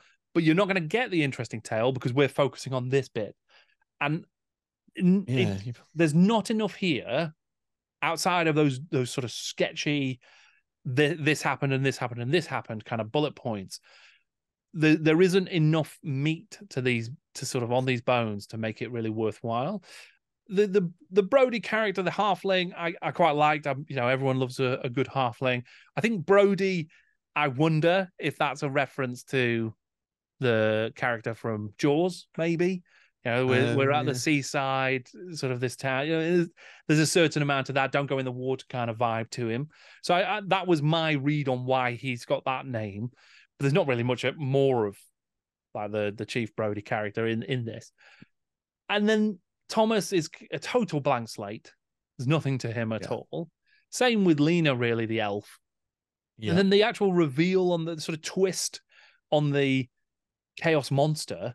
Oh, actually, the chaos monster is your father, and we know this because he's got a the same dawnstone that Brody's just given you and just told you about. Well, first of all, like structurally, we only find out the truth of the the lost father character like a few lines, a paragraph or two before the reveal. It feels like so. It's not like it's this long held mystery that we then have a satisfying conclusion to. It's just a sudden. Oh, and by the way, this is the case. And then there's also a real lack of sort of interrogation of what it means that this chaos monster, which has somehow found its way all the way from the chaos wastes to here to be close to his son, and but still want to kill him, it seems, There's- but doesn't just no there. You Well, could no, have, you could have gone to town on on. There's so much stuff you could have I done am for your sure. Father could have, you know. But yeah, the, the, so this chaos beast is right there, lives in a cave right next to Thomas. For no reason, it doesn't just storm through the shack and kill Brody Yeah. and kill Thomas any night. If it's out there making noises every night, it could just come and kill them. But it doesn't, and there must be a reason for that. And it doesn't. We don't explore that, and we also don't get the, any kind of moral sort of exploration of well, the father lost his wife to chaos and then vowed vengeance. And that revenge cost him his life as well because he then became chaos. Didn't get to raise his son, didn't get to see what he became. He he sacrificed everything and ended up a chaos monster, a sort of father in the shadows chaos monster. And then the son makes exactly the same vow of revenge. I've Yeah. lost my father to chaos now, so I'm going to get revenge. And Brody doesn't go, but that's what your dad did, and he lost everything. Brody's just like, I'll get my axe or whatever he says. yeah. He kind of ends on this triumphant, now the quest begins kind of thing. When actually the, the real ending here should be, this is a terrible damnation that you are walking towards. Yeah. Yeah, yeah, yeah. And it wasn't that long before in the story that Brody was saying, "We can't win this. Yeah. We need to get away now. Let's get in the boat. We will sail yeah. miles away." But which makes you wonder why. Why didn't you do that when? When he was a baby, when he first came back, why be so close? You know, I always knew he'd come back looking for us one day. Why did we stay here for? you, this place you want to take us now safely. We could have been. You could have brought me up there. You said it was nicer weather. You said it was better. We could have moved. And it's kind of like, oh, I really should have. She really shouldn't have stayed here. It's like I really shouldn't have. it just it doesn't make and it's like I really shouldn't have bought this house next to this that nuclear reactor that that split 20 years ago. Now all my hair's falling out. It's got I think oh, we should move away now. My hair, all my hair's gone, and now yours is going. It's got it's it's it's odd. It's odd. Yeah. yeah. The old Hammer fiction podcast that you mentioned before, Lewis on that did a little bit of analysis after reading the story, and I completely agree with it. He talks about the fact that Lena, the elf maiden, she has lost her brother. She thinks her brother might be alive. So there's been a shipwreck. She and her brother were both lost at sea. She's made her way to the shack with Thomas and Brody, but she's like desperate to find her brother, and that then leads her into the arms of the the, the monster. But the brother is given a bit more backstory. He's like an alcoholic, gambling elf kind of like rogue character. Sounds super interesting and he's not in the story at all. So he's just introduced as a concept of a really interesting character who you're never going to get to meet and has no it's bearing on anything. in any of the characters that are yeah, actually exactly. Yeah, that's what Lewis says. It, it, I want to spend time with that character, and we don't get to. We have to spend time with Thomas, the boring guy. And I yeah. completely agree. It's it's an odd choice is odd, isn't it? it is yeah. Like you say, like it, like you're saying, it kind of feels like he's set. It's like it's like he he's put the manuscript in and gone. That's it. They're going to ask for a full novel on the back of it on the on the story. It's going to be like we got Gotrek and Felix. Well, we're going to have Thomas and Brody, um, and it's going to be brilliant. And uh, what a different world it would be if there were twenty volumes. That phone call. No, he didn't. Ralph T. Castle did not get that phone call. He changed his name to Roy and went and filmed Record Breakers. um, but um, another another eighties reference for you in this. Uh, um, it's yeah, I, it's probably the worst actually out of all of them. In in many there's there's, there's some of them have been questionable. I've had more redeeming factors, but there's there's not a lot to to, to really kind of like in a re- redeeming sense. I think it's a really harsh thing to say, but it's it's, it's lacking in so many ways. Um, yeah. And some of the things you could have done to improve you, so it was you, you wrote it. Some of the things that could have been done to improve it um, were relatively simple as well. Yeah, and I, I'd say. So this one for me ties for the worst slot. Uh, and and the reason I don't know that I think this one is the worst is because it's mercifully short. So it, mm. it wasn't as long as my other uh, you yes. know, lowest ranked story, which we'll come to in time. we'll get to it. But yeah, I, I, didn't enjoy this. I thought it was just it was just too frustrating a story for me because it didn't deliver on any of its promise. I think there's some cool ideas. Brody's a cool enough character. Slaanesh Chaos Monstrosities, that's cool. There's just not enough to make it work for me. Yeah, agreed. No Gold in the Grey Mountains by Jack Yeovil. Brigands hold up the carriage of a young girl, kidnap her, and take refuge overnight in the abandoned Castle Drachenfels. Abroad in the dark, there is a dangerous old lady, a withered vampiric hag that begins cutting the brigands down one by one, entering their minds, dismembering their bodies, and drinking their blood. By morning, all of the highwaymen are dead, and the young girl and old hag are revealed to be one and the same. This witchy woman is a psychic manifestation of the girl, who is in reality a vampire of unknowable age. No gold in the Grey Mountains. So this is the Jack Yeovil story. So Kim Newman writing as mm-hmm. Jack Yeovil. This is our sort of prequel to Drachenfels. Yes. So we, we're getting places and characters in some cases that we've seen before in Drachenfels. What were your thoughts on this as a story? Um, I really like this. Um, it's very simple. Um, and we talked about if we can compare with the last story as a as a as a very short, relatively short, simple horror story. Um, this does it right, um, and happen everything happens fairly quickly. Gets on with it, and people die. And at the end, you you, you know you you've guessed what's going on earlier on, but at the end, you you you look at this character, this this incredibly old vampire that's also a little girl that you recognize if you've you know read other stories and think that was good. It was nice. It was enjoyable. It's gruesome in places. I quite like some of the uh, the, the, the characters as well. So, but it, it it's it works. I think it was a bit of a lesson in how you can write a short horror story and it work and you, and you build the suspense and you can imagine it again. You can imagine this as a as a, as a better um, short TV program rather than one of the more shocking ones. But um, uh, yeah, I liked it. I liked it a lot. yeah, because I think if if Drachenfels was something like an interview with the vampire meets Shakespeare in Love meets I don't know Game of Thrones, this yeah. is is interview with the vampire meets Alien. Uh, yes, uh, and yeah. meets American Horror Story maybe. So it, very yeah. much it is it is short. It is sweet in in its mm-hmm. sort of delivery, very efficient.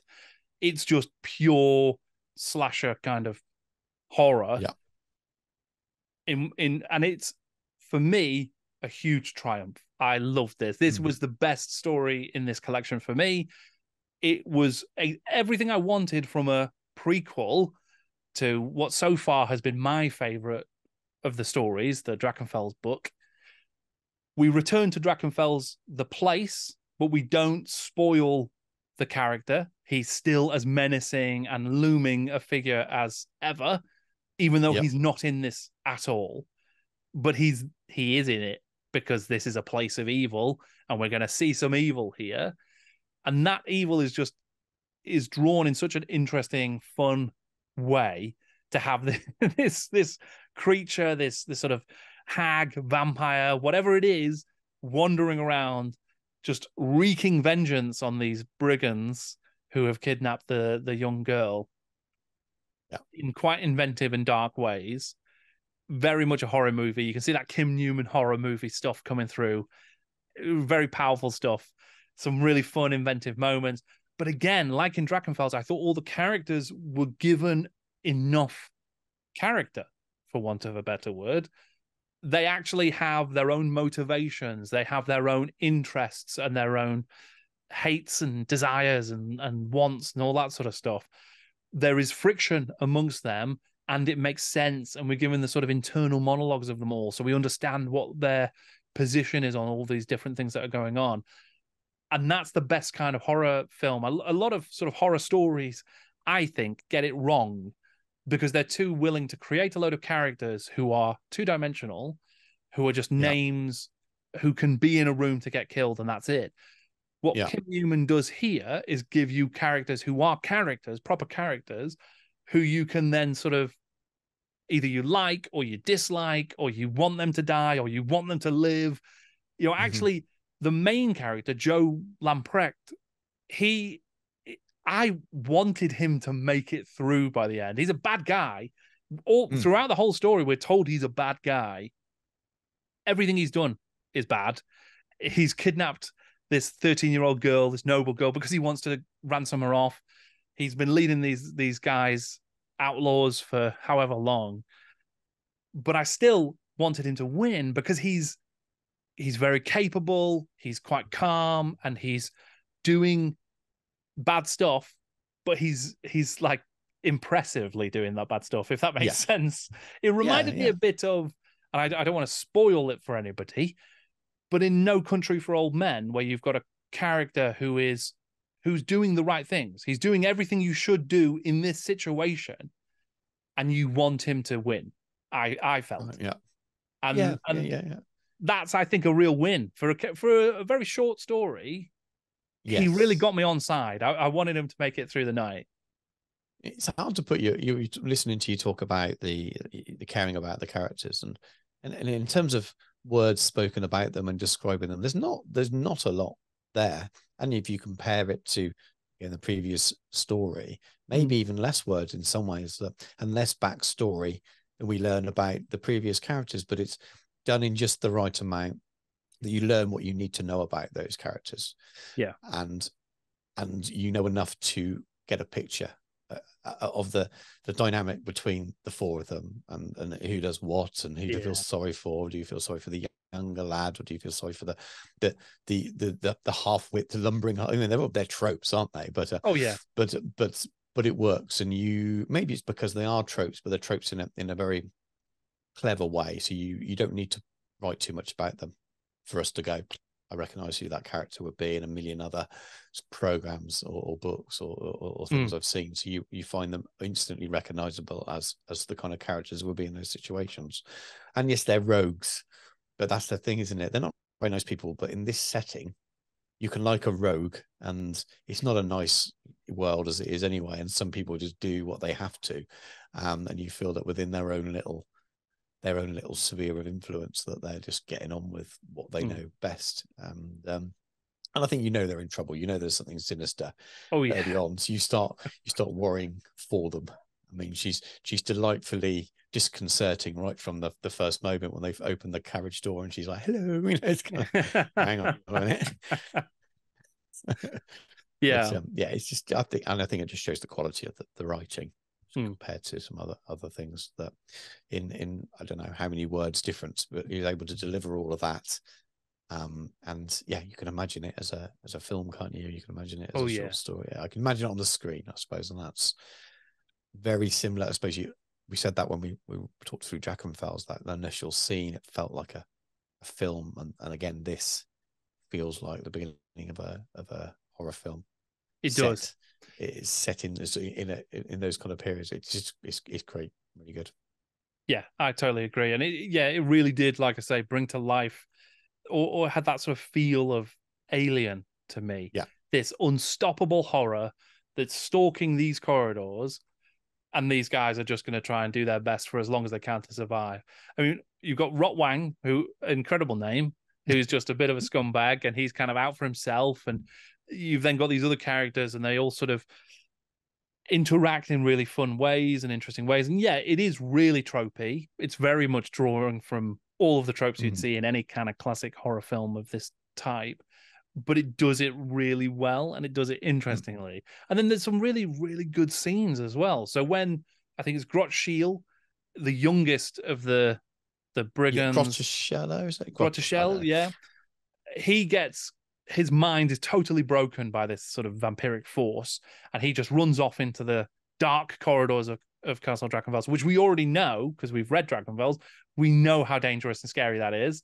And then Lamprecht goes after him he, he doesn't even know why he's doing it. And that's great. He's like, I didn't think I cared this much about this guy, but maybe I do, or maybe I don't. And I've been, to- you know, my mind has been corrupted by this uh, force. So he goes out into the darkness, and then there's just a really good scene that you can totally visualize. He comes to the end of the corridor, he finds the young uh, highwayman just right there, and then he sort of turns around and reveals that actually he's been totally taken over and is possessed. And they then have yeah. a very well written fight in the darkness. Yep. And actually, Joe gets injured and only just survives. And then he's stumbling back through the darkness and he ends up having to fight uh, Rotwang as well, who's then turned into a werewolf through this sort of dark powers. And it, it just, the, the fight scenes really work for me. They're just so well written and the and the each wound that Joe seems to take just again and again and again is he's just really feeling it. And then there's also a really nicely done sort of Chekhov's gun of the introduction of the spur that Joe has left mm-hmm. on his boots from when they yes. rode in. And he accidentally he slices his hand on it earlier in the story when he puts his boot on in a rush. He's like, "Oh, I need to remember to take that off," and then that comes in handy later on because he's now fighting a werewolf. So yeah. that's just nicely and, deployed. It works really yes. well. And yeah, and again, that's another. I keep using it as an as a comparison, but that wouldn't have been done in the in in, in some of the other stories. No. He'd have just gone, oh, I, by the way, I happen to have this silver dagger. Yeah. And it would have been a lot more in your face and like, oh, okay, this was cleverly done. And you achieve the clever. same thing with the same amount of, of words as well. Mm. But it's, yeah, smart storytelling. Yeah, I totally agree. And then, of course, the reveal at the end that the vampire, this whatever creature it was, is actually some sort of magical manifestation of the yeah. girl.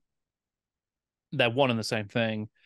And she's just been tormenting these guys for fun because she wanted yeah. to have have some fun. Do you think she's the young girl vampire we meet in the convent or not? Yeah, so I did go back and double check just to, to make sure it all lines up. And yeah, it, it is. So that was my assumption. It yeah, Lady Melissa d'Acques, or however yeah. you pronounce it. So it is the same granny vampire yeah. for the vampire Genevieve. There's a slight, I think there maybe is a tweak to the character. She's not, she doesn't feel quite the same because she's a mm-hmm. lot more of a sort of grandmother kind of character in She's almost convent. retired there, aren't they? In the convent, that's where they yeah, and, it, and maybe it's ten or twenty. I think it probably would be something like ten or twenty years later. So you could, yeah, maybe she mellowed out, and this was her final hurrah, as it were. She's also, you know, not totally dead, is she? She's one of the no, she's not similar similar style to. to yeah, they're not truly dead. I think they they yeah. talk about it. Yeah, but yeah, so it and it does make sense. It works. There's enough continuity there for it to to play well, and that's your sort of prequel element or is really a middle qual, whatever that mm. term would be, because it takes place after the prologue to Drachenfels, but before yeah. the meat of the Drachenfels book.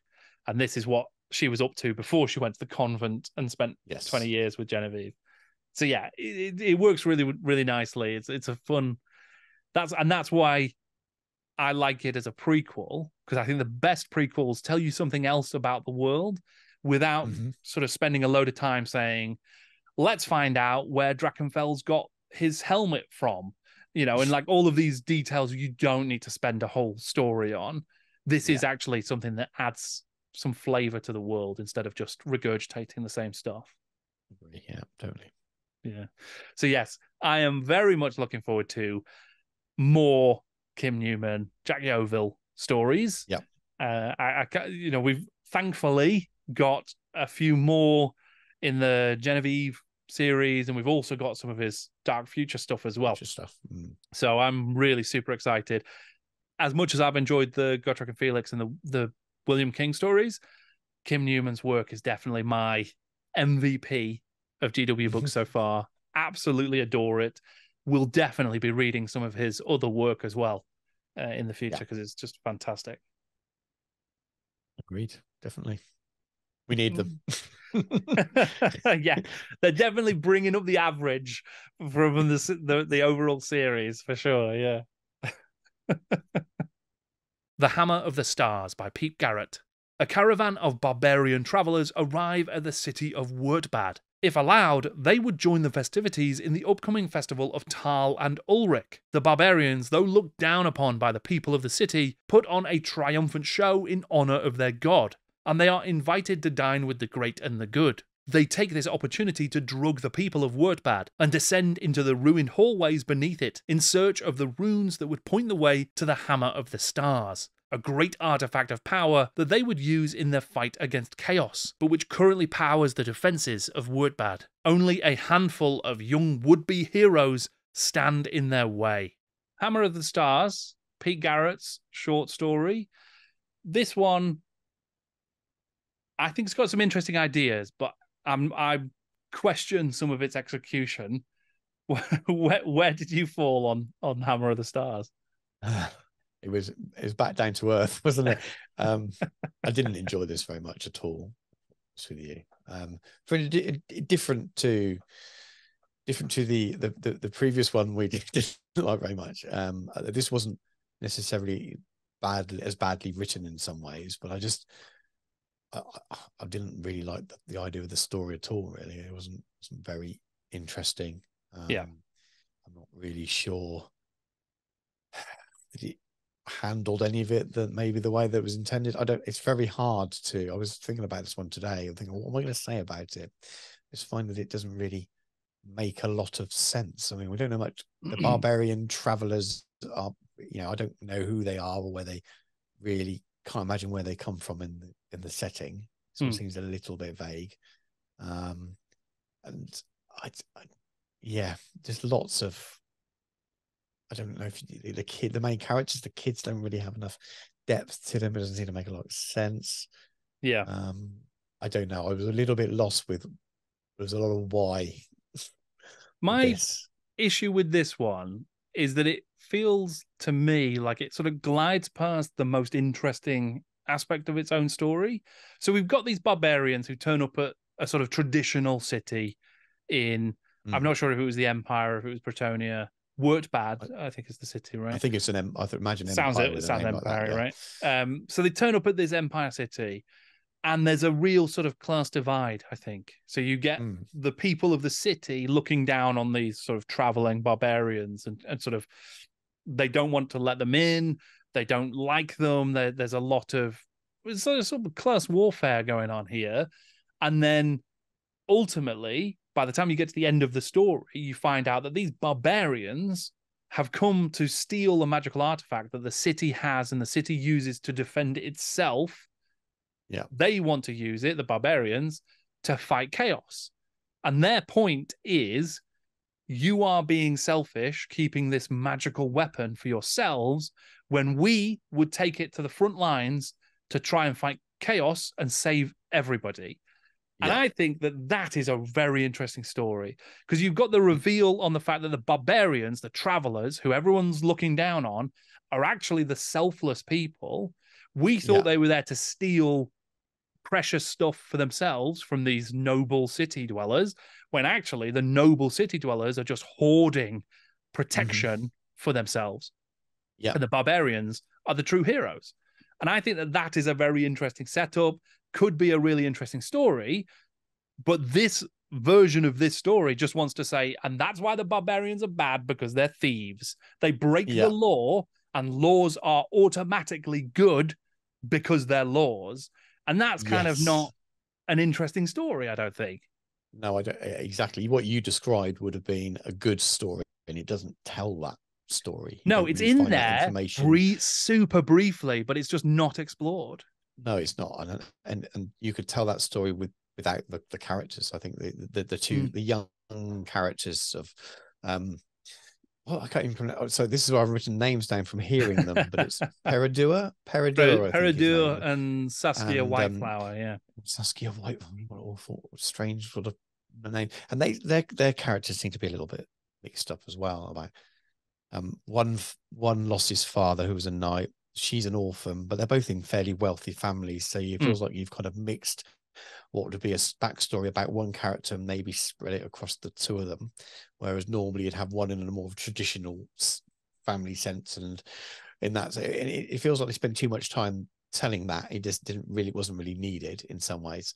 Um, and I think it would have been better telling the story from the perspective of um, the leaders of the town and and, Mm. and the, the chief of the guard or something like that to be able to tell the story about the the politics around should should they let them have this Yeah. um, maybe if they'd asked for it in the first place or been been asked you know we would like to use this to help protect you and then when they were turned down they then then it was the subterfuge and the trying stealing it i'm Mm. not sure that the kids being part of the the, the, the Well, the tale kids- to and they kind of saved the day but not save the day at the end anyway Yeah. it's all a bit bit of a wet ending wasn't it really i mean he's a dawnstone as well we didn't mention that isn't it wasn't it a dawnstone that brody had that he It gave was, to yeah. um again is it I can't, I'm not going to reach my Warhammer roleplay, but is Dawnstone one of the magical items in Warhammer Fantasy roleplay by chance? Because Well, there's the Doomstones, are the sort of big, the second big campaign they did. I mean, Dawnstone, I don't remember off the top of my head, but it feels very like it would be a magical item Yeah. around, right? But yeah, I think this has PCs from someone's role playing group in it. And I think that's part of the reason why the backstories feel so muddy, is again, because they're a Mm. bit like, okay, well, my character is an orphan, and that's why they're going to go on all the adventures. And they're both very smart and the top of their class, but also they're one of the best squires and and would be knights. And you know, yeah, so like they've just taken every single box for the wish fulfillment of the reader, I guess, because they're going to Yeah. go off on a quest. And this is the other one I was talking about when I mentioned for the end of Cry of the Beast, when it it sort of it's the least interesting part of a story as a prelude to a, a more interesting epic adventure. And we never get the epic ad- adventure. We just get the boring start because we have these. Uh, we end this story with Peridor and Saskia and brother Martin, who's sort of a, a, a wiser character, stood ready to take on the quest to find the Hammer of the Stars. You know, come Yeah. back next week and you're going to see our heroes on their adventure, but they never do Yeah. go on that adventure. And Yeah. yeah, I think you're right. Yeah, you're right when you say that the, you know these characters they didn't really need to be in this story. The reason they are in this story is because they get to foil the bad guys, and the reason they foil the bad guys is they sort of out talk them. In, they sort of prove that they were wrong, so the the, the bad guys just leave. it just sort Yeah. of doesn't really work. Feels like an early scene in a Dungeons and Dragons movie, or maybe, and that then leads Yeah. on to yeah. I mean, with the name like Saskia Whiteflower as well. That that's D and D. That's not that's not even Warhammer. In terms of yeah, it's it's yeah. I didn't enjoy it very much. yeah, it, it like I say, I think there's an interesting kernel of a story that could have been really interesting if that's what this story was about, and it's not. No. Instead, it's about the sort of the the the young, presumably teenaged reader of the book. What if they were the only person who knew what was really going on in the town and they saved the day, and all this sort of stuff? Um, because they also you know, there's some very broad strokes with the plans where they the, the barbarians drug a load of wine, and they've also taken the antidote, which is like a spicy pepper that only they like to eat. And yes. literally every other person in the in the castle seems to have drunk the wine and been knocked out, except for our three heroes. Yeah. Yeah, you can get away with these kinds of, you know, very convenient sort of moments if your story is good enough to make me not care about them. But the story wasn't really good enough, so it just felt too convenient to get us Yes. Yeah, yeah, yeah. It felt like too much of an important part of the story. Yeah. As a very weak part of the story. It's it's mm. Yeah. So yeah, not not one for me. This I, I didn't I didn't get what I was hoping for from it, and unfortunately, this continues this this sort of run here of a story ending just at, a, at probably its more interesting point. So either we we don't get a we just don't have a satisfying ending to this story, like we've not had a satisfying ending to a couple of the stories so far, and that Yeah. feels like a shame again. Mm-hmm. yeah, yeah. The, the, I'd say that the the bad ones in this book are are, are much weaker than the than the, the less good ones in Ignorant Yeah, I think that's true. The ones I like disliked most and thought they were a little bit strange. Still a lot more to them that was worth discussion and, and interesting about them. Even the Starboat was, it was as much as it was crazy, there was some really interesting parts to it. Whereas Yeah. I'm not even sure that two of the stories here that are really that interesting at all. Hmm. Um, it could be really harsh to them. Yeah, it's interesting you raised the Starboat because in the live chat, someone did mention that they, based on the name, the Hammer of the Stars, it Mm. felt like that's the the territory we were about to go into again. And Yes. I had a similar thought when I started reading it. I was like, "Oh, is this going to be another weird Slann related adventure?" And by the time I ended, I was wishing it was it was because that would have been more interesting. Yeah, if we, than what we got was just a bit too plain. the magic wore off, and Brody turned out he was a Slann who had found a halfling body who had been. so yeah, I think this one didn't. It just didn't land. It didn't land again. Pulg's Grand Carnival by Simon Ounsley.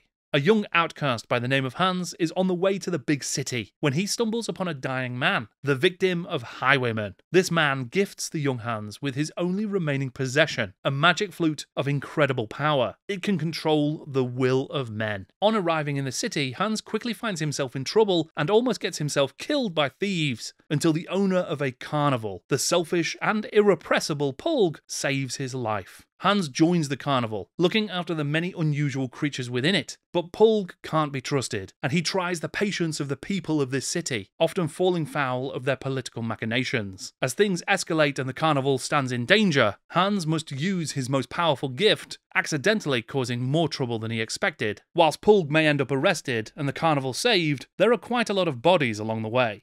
Pulg's Grand Carnival. This one is the story I was referring to when I said there's a longer story that I ho- I was quite frustrated by uh, Mhm. alongside Cry of the Beast because this felt long to me. This did not feel like a quick read, No, it was long. It was long. and it and and it didn't feel like it needed to be a long story. And in fact, it felt to me like it was two separate stories somehow merged Mm-hmm. into one. I mean, what what what was your general feel on this? You- you- You're right. It was long. So in terms of uh, listening length, um, because when you read something, you always put it in perspective. A number of pages. It was double the length of a lot of the others. It was about two Really? hours. Yeah.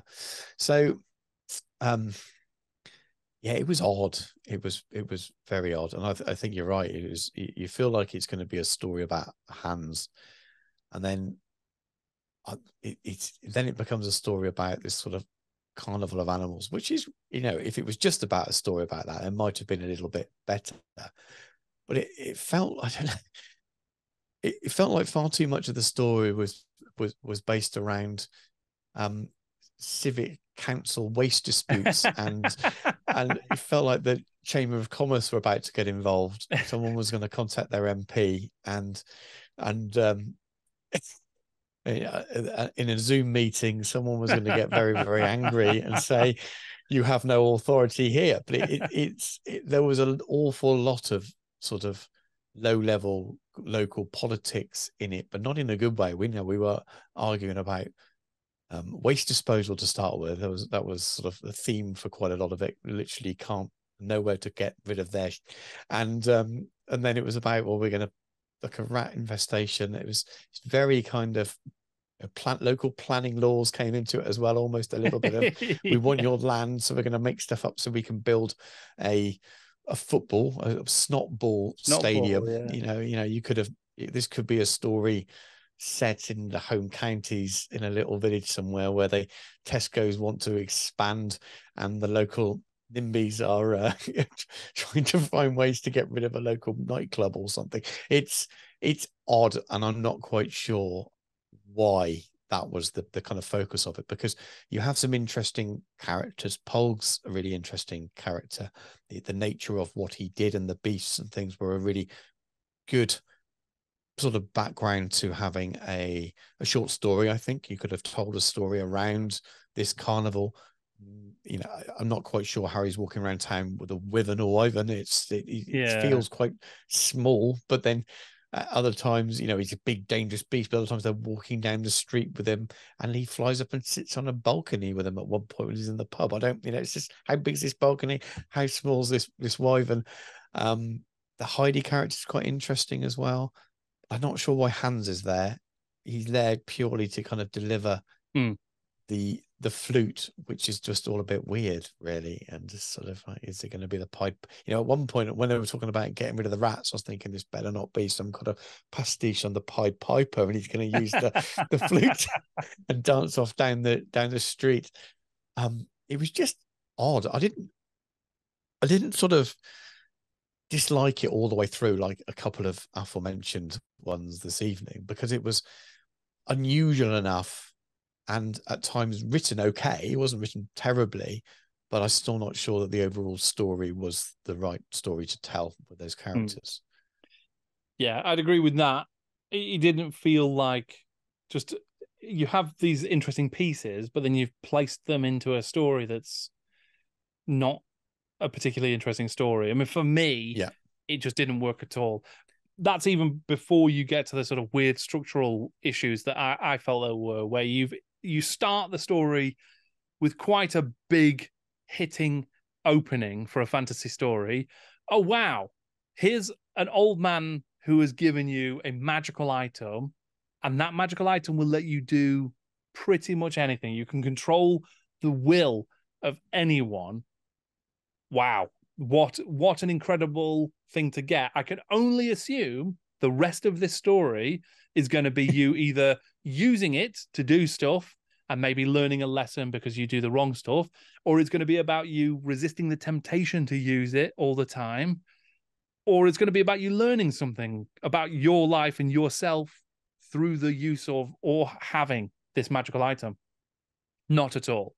The magical item with this incredible power goes into the back pocket and doesn't come out again until the very end of the story Yeah. where it it it only exists to cause a minor issue that could have been caused in any number of other ways that would have Yeah. made way more sense in the same scene.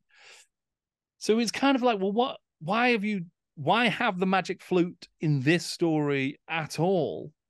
When really, this should just be a story about a young outcast boy who is taken under the wing of an interesting but unlikable carnival owner, P.T. Barnum, who then exploits him and exploits the animals and exploits everybody else. Uh, may, uh, but then you could argue, well, but he's also given all of these animals a home. He's given this boy a home. So maybe he's doing something good by exploiting him. That's an interesting story. But no, we've we've then got a load of, like you say, all of the the, the additional politics of it, which again I, I mean, in, it made in, me laugh. It amused yeah, me. Yeah, and in another story, there was some good cool. lines in there, wasn't there? One of the eh, eh, talking about getting rid of the the the, the manure, the waste. It was an excrement of evil to be spread on that. No one wants the excrement of evil to be spread yes. on their vegetables. There's loads of really funny lines like that, but I'm not sure. Yeah. I don't know. I don't know if it was mm. trying to be a comedy. There's there was lots of bits that were sort of amusing. Yeah, I think um, there's a bit um, of. I think there's a little bit of humor in it, and I think it is trying to be, have a certain irreverence to it throughout. And listen, I think rat catching is a career in Warhammer Fantasy Roleplay. It's a famous part of the Warhammer world. So having that be a sort of part of your narrative is fine. It just n- needs to be a more fun narrative overall. I would, yeah, I would say. So yeah, it, it it didn't come together for me this one, and I think ultimately like the magic flute is only used to stop some guards who are going to arrest Pulg because he's finally gone too far. Or to make some bullies' trousers fall down as well at the beginning. Don't forget that. That was a really important part of the story. sure, yeah.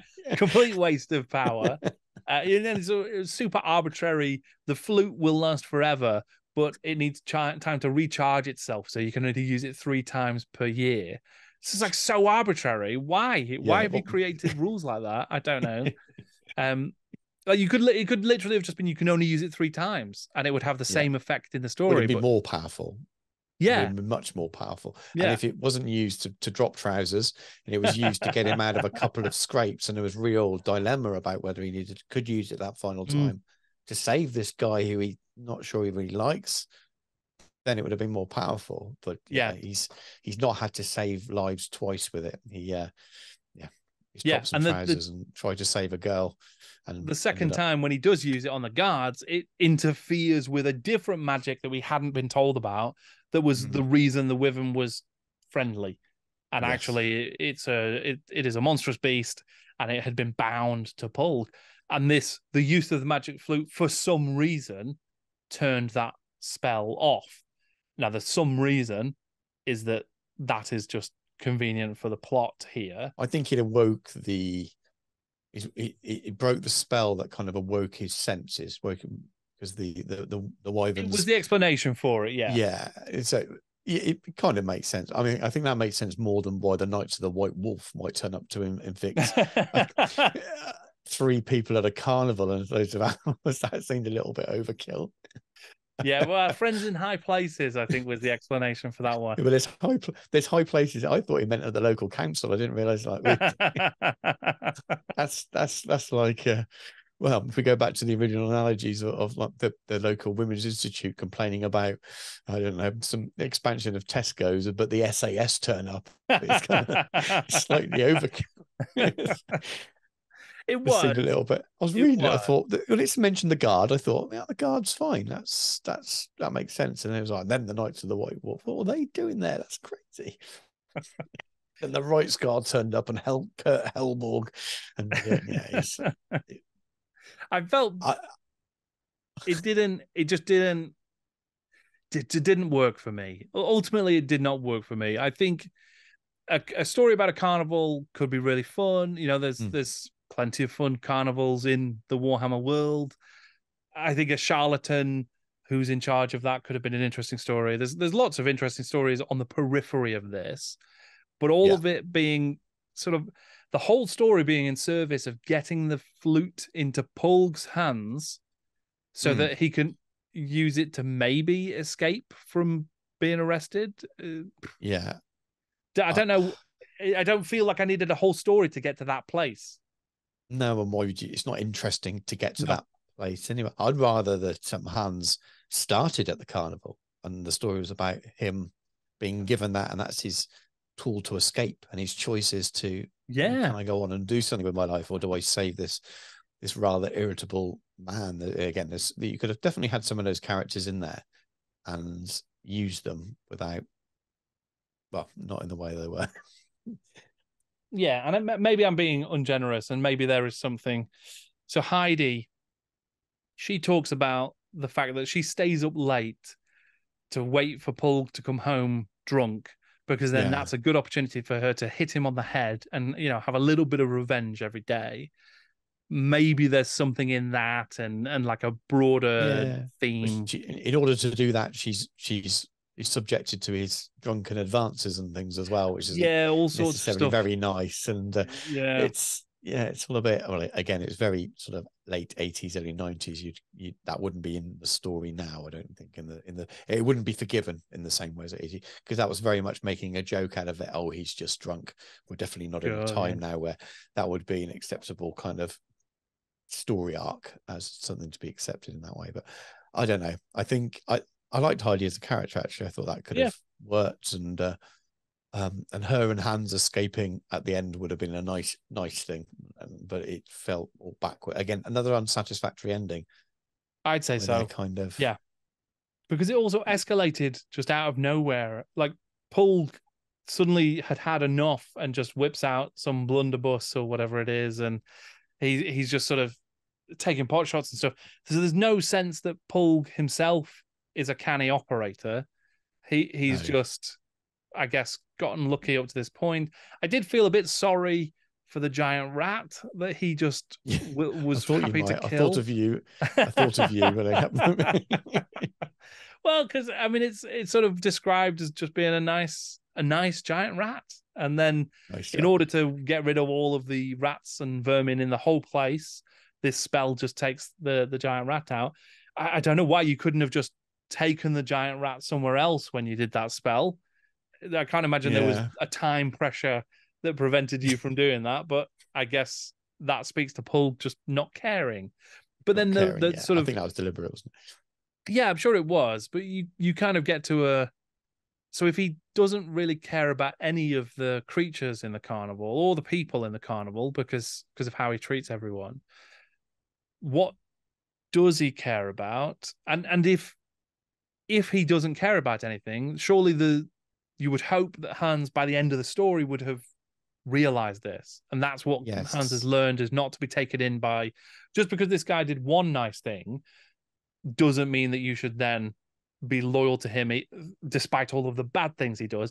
But he yeah. still like ends up letting him get away with the flute, and there's kind of a cheeky little blink. You know, he winks back to Hans as he's being dragged off, and Hans is like, "Oh yeah, he's got my magic flute, and he's going to escape." Yeah, and it's it's it's a bit hapless, isn't he? Hans yeah, it's like what have we learned? What have we learned? He doesn't here? go Nothing. on a journey at all. He almost feels deliberately half-witted up to a point, isn't he? I mean, yeah, obviously he has. Obviously, yeah. he, has, he has challenges being an, an, albino, and that sort of brought into it. But also, his his character's made out to be pretty stupid at times as well.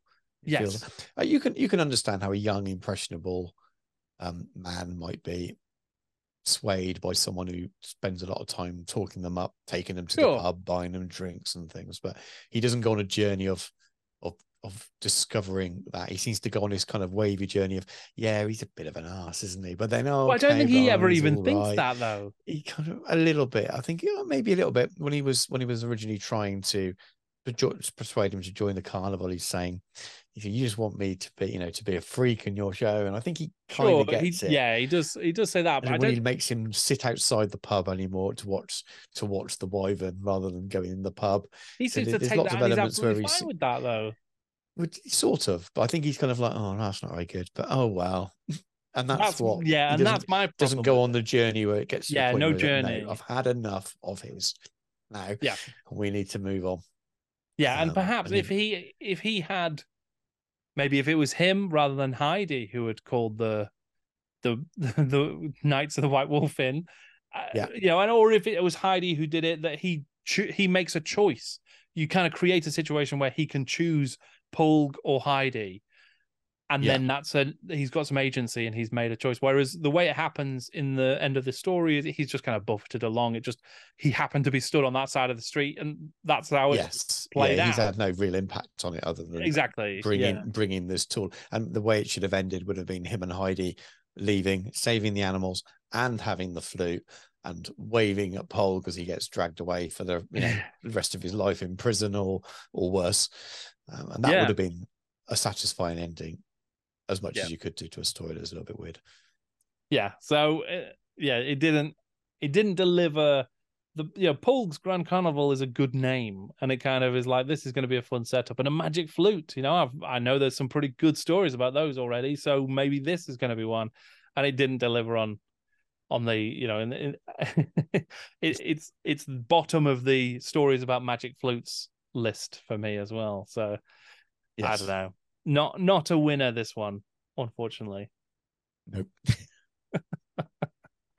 The Way of the Witchfinder by Brian Craig. Florian is a young priest of law, untested in the ways of the world. He goes on a mission of mercy to the town of Oralame, where he hears untold stories of chaos corruption amongst the city's leaders. Though consumed with self doubt, he steps in to try and stamp out this chaos influence, and finds his faith tested both by temptation and by compassion. The Way of the Witchfinder, the second story in this collection by Brian Craig, what did you think about this? It's quite short, so it's Very you know, short. yeah. yeah. Um, that surprised me. I thought, oh, this is as far as it's gone, is it? So, um, it felt odd to end with such a short story.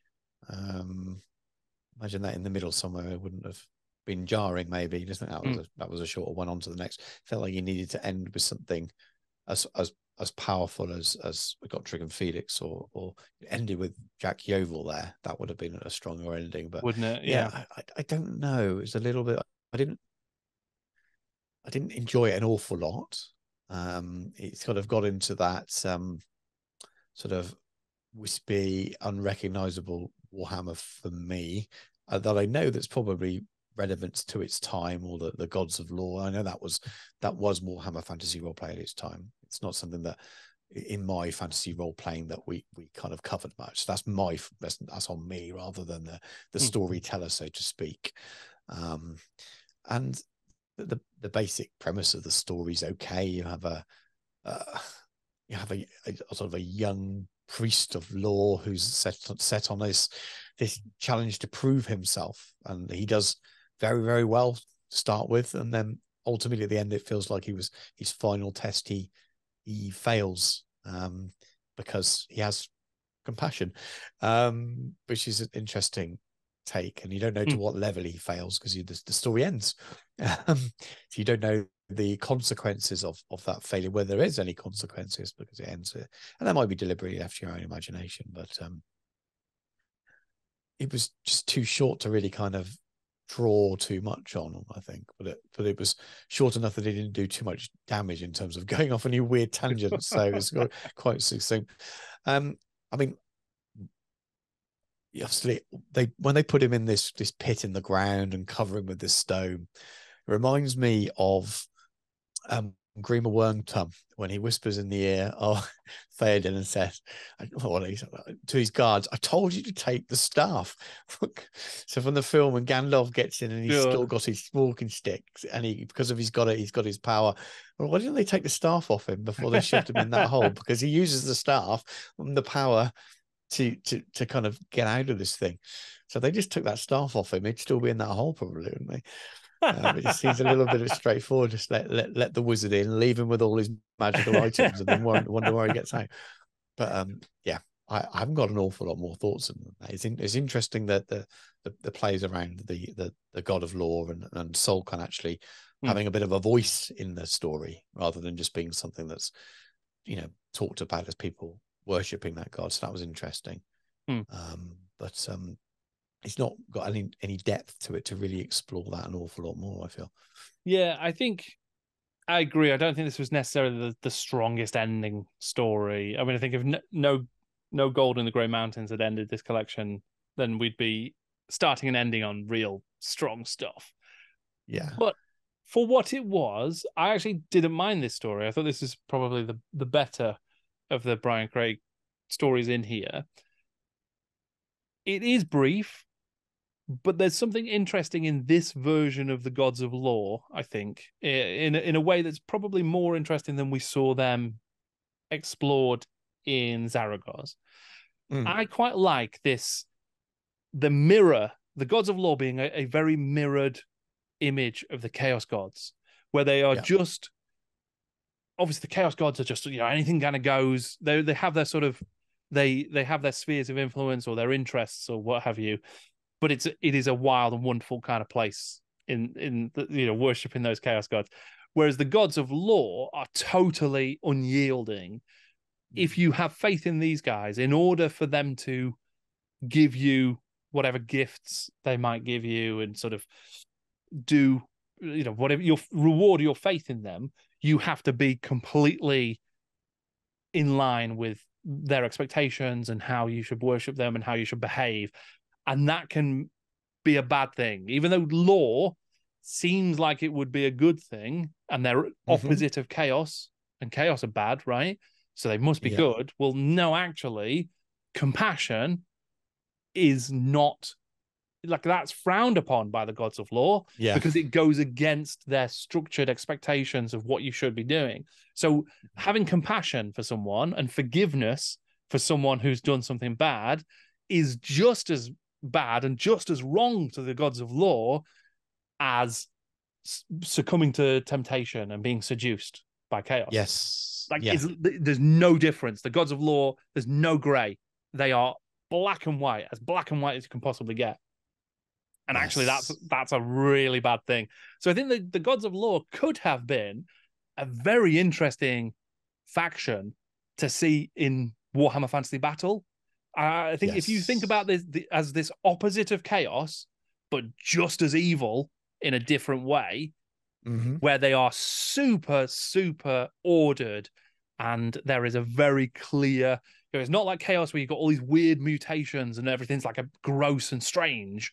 It's it's almost order to a level of like fractal abstraction. So it's it is, mm-hmm. would drive you mad, but it's extremely ordered in some weird way. I can't I can't really even imagine it or verbalize what I'm trying to say, but I, think I, know. The, I think I know where you're going. There's something it, yeah, theoretically very cool about that. That if in a there is a world where Brian Craig, and actually on the Old Hammer Fiction podcast, Lewis talks about this as well. I think it's a great point. There's a world where Brian Craig's view of the Warhammer world is the one that is progressed through all of the mm-hmm. fiction and through all of the games. And actually, Estalia and Bretonnia as the sort of medieval version of, of France and the gods of law become the cornerstones of Warhammer lore with a yeah. L O I E, and then and you you just end up with a Warhammer world that's totally unrecognizable to us, but it's totally leaning into all of the stuff Brian Craig was interested in, and then we'd be looking back at him and saying, "This is the guy who's writing the foundational fiction for all of yeah, this cool yeah. stuff." Unfortunately for him, every subsequent writer said, "I'm not interested in that." Yeah, let's let's put all that to one side, and we're going to go in a completely different direction. Well, but that a lot of that other stuff was already in existence. He just yeah, and it, but the things he chose well. to focus on for whatever reason just ultimately kind of ended up being the stuff that was ousted from the setting. Mm. Really, still there, but just not important to the setting. But yeah, I think there's, I think there is something. Yeah, I, I mean, I don't know. It inspired in me those thoughts of what would what would a Warhammer Fantasy Battle army look like that worshipped Solkan?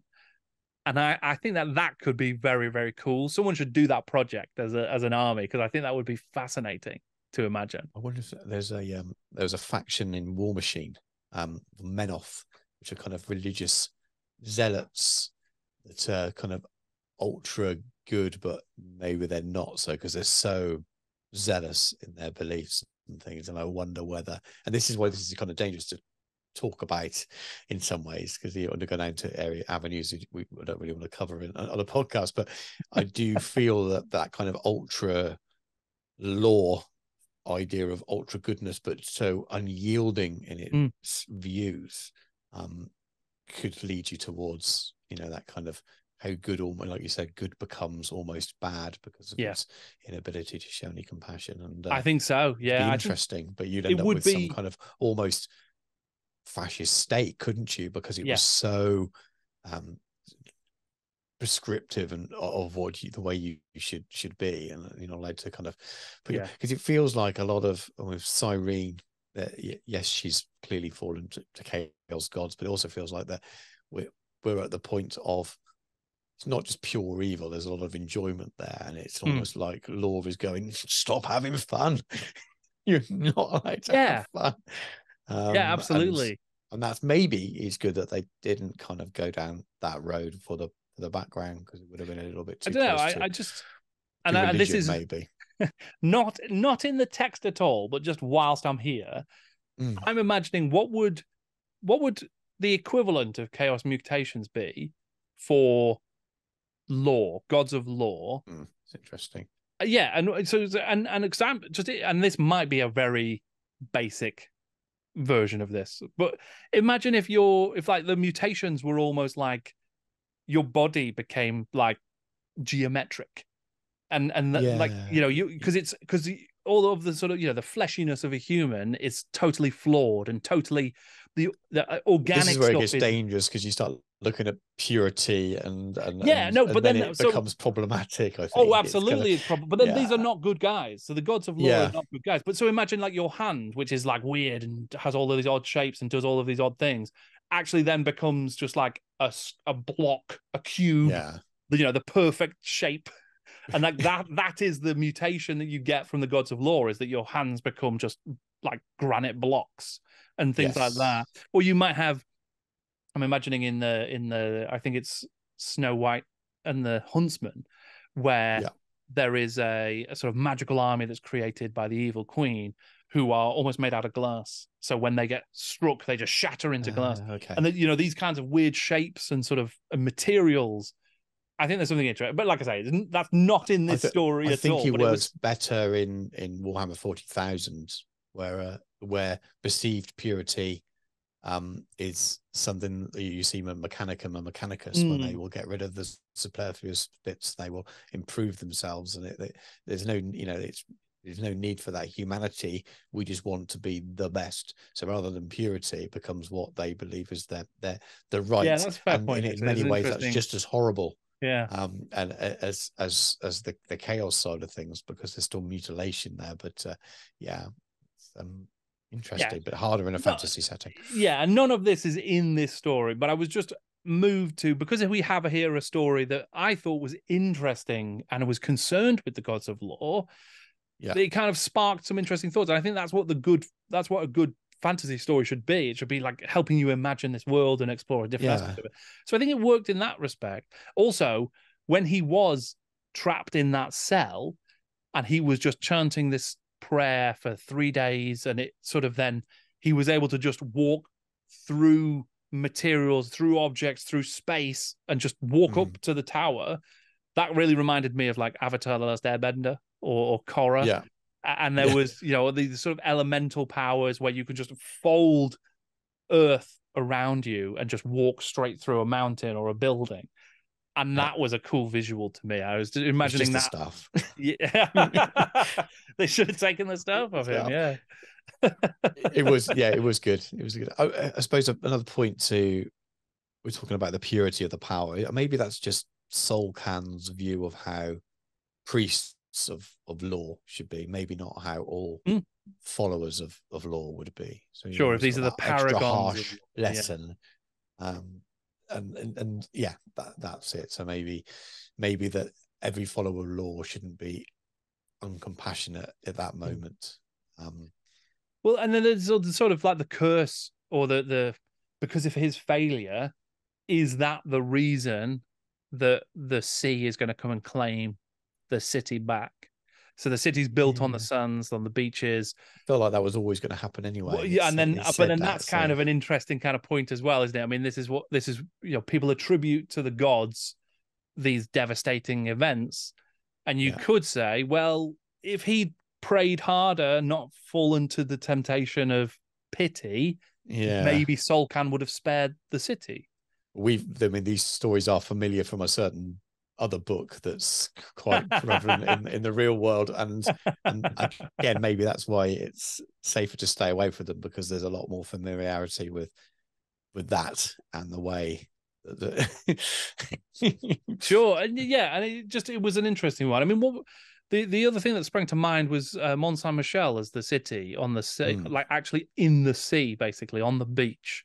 Yeah. Uh, you know, and I, I, think that was quite. That's a nice visual. It feels like maybe that's what inspired it. Is it Mont Saint Michel? Do you think? Sorry, Mo- yeah, yeah. No, no, I know. I mean, is it the real? I wonder if that's where the idea. That's what I mean. Is, yeah, is it, yeah. Did, did, it? Did it? You know, just a sit uh, like a towering city built onto a beach, and the yeah. sea will always claim it back. That kind of is totally where my mind went at the start yeah. of the story. I, uh, I, imagine so. I mean, I, I have been there this summer. Sure, yeah, and um, and it's a wonderful place, and yet it does feel like you're walking around um, a Bretonnian city, and I can see um, how that would be a lovely setting for this. So yeah, that, that, that gives you a really good idea. So yeah, not just being reclaimed by the sea yet. Luckily, that's because the prayers to Solkan. Yes, have, have absolutely. Yeah. They're all playing to Solkan in there. That's why. there was an odd thing in this story though, where it didn't work for me, and that was that Florian, who is sort of positioned as a bit of a naive young priest, so this is his first journey out on a mission. Yeah. And he sits down in the center of the sort of town square and he's hearing for several days all of these tales and it's it's positioned as if he's hearing gossip. And yes. it's very much the the sort of vibe I got from the story was that you'd be a bit naive and foolish to believe everything you heard. Yes, yeah. The, the, truth is amplified into something that's more exactly. Acute, you know, use a rumor. So maybe think, and that sort of kind of brings you back to well, how bad is Cyrene? Is she? How bad? Then, how bad is the lot of all the people? Sure, that, that and then he, there? but he and brings you back to that gossip. interplay of what's good and bad about the the two gods at the end, with the showing lack of of, of uh, compassion who is we the real bad guy at the end. So yeah, we don't get enough good. of that though. I think because Florian then acts on all of this information he's been given, which we we are led as readers, we're led to believe that it's probably not all true. But when he confronts Cyrene, it is all true. So yeah, he was right to confront. Yeah, it was the right thing to confront her. She is evil. She is in league with chaos.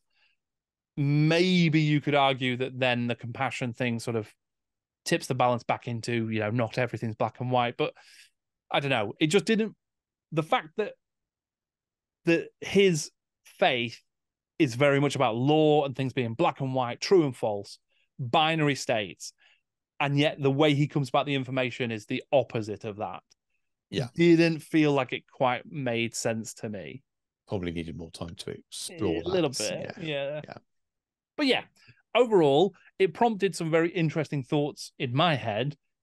It was it was certainly not my favorite of the stories, but because it was so short, it was just this little tiny exploration of this sort of corner of the world that we we won't see too much more of in time. Obviously, we will yeah. because we've got Brian Craig stories to come.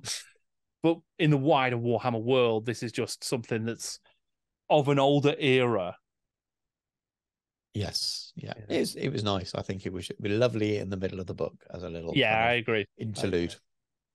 So, where did you feel that this collection of stories, so Wolf Riders as a book, is this as good as Ignorant Armies? Is it better? It's hard to compare it to the novels, but where were you sort of mm. placing this? Is a fourth book we've read from GW Books. Um, yeah, it's at bottom out the four.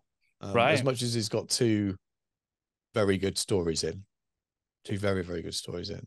I think the rest there's a significant amount that are, are, are disappointing rather than just kind of interesting. Well, I probably wouldn't read it again, but I'm glad I read it. Some of these, you know, it's I didn't really the first time I didn't properly didn't enjoy things rather than I didn't enjoy parts of a story hmm. or that was a bit strange some of there were the stories here that I genuinely just didn't enjoy at all, and um, had me chuckling, you know, but at stages. But uh, um, you know, Pulg's Grand Carnival was amusing, but it wasn't great. But uh, Hammer of the Stars just wasn't good, uh, um, and um, Cry the Beast really wasn't good. Hmm. Um, I'm not a huge fan of the Phantom of Urania as well. It was okay at times, but Uh, yeah. There's a couple of ones that I thought it, it, it lost a lot of pace. It lost a lot of momentum earlier on. Mm. Um, and it kind of detracts from the, the couple of the better.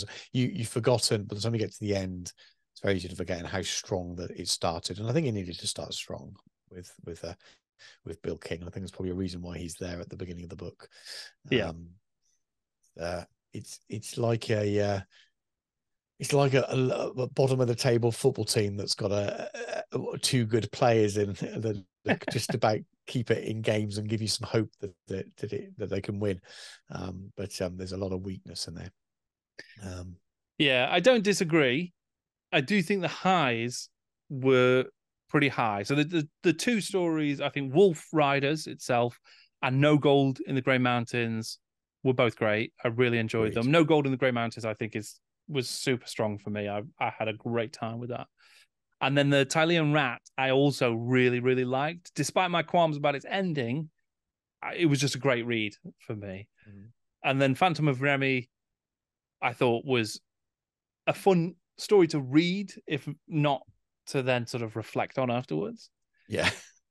Same with the way the Witchfinder, really. That sort of falls into that camp. And then yeah, we've got then three stories that just didn't tick any boxes for me, really. Um so yeah, it's a, it's I would agree it's probably the the the weakest as a book of the four books that we've read. But some of the stories in here are going to stay with me and I will be revisiting and I am looking forward to more mm-hmm. from from those authors and characters. Yeah. Would you give it a thumbs up or a thumbs down, do you think? Oh, it's really difficult because I was just thinking as you were talking a bit about what you were saying about the, some of the stories would stay with you. And I'm trying to think about would those stories stay with me? How have we not been doing this process? Um, I can confidently say that they wouldn't have had a second read stroke listen. Um, so maybe they wouldn't. They would have been kind of pushed aside and forgotten relatively quickly. So if I'm mm. being honest with that sense, then you remove the two really strong stories and it would be a thumbs down. It is whether I can kind of do that because of them. you can't. Um, this is this is the gods of law. You need a binary on this one, up or um, down. Well, as my favorite story there appears in another book, it's saved. so I'm going to say a thumbs down. Ooh, um, first thumbs down we've got. Yeah. Yeah. I'm afraid so. For me, I'm going to go thumbs up still because I, I, the stories I liked, I really liked. I thought they were great. And even some of the stories that were mixed for me, I think were still really worthwhile. So yeah, I think oh, frustrations aside, I still really enjoyed reading the collection. Um, mm-hmm. And I've got questions about, you know, why were there not more stories about dwarves? Why are there not more stories about elves? More stories about halflings? At least we get a couple in this. Why so many stories about the same kinds of characters? Whether that's because that was the brief, you know, write a story about a teenage boy in, in the yeah. Empire or Bretonnia. Maybe that's what they were told to do. But I think for all of the missed opportunities, there's still stuff in here that I enjoyed, and and that's why I'm giving it the thumbs up.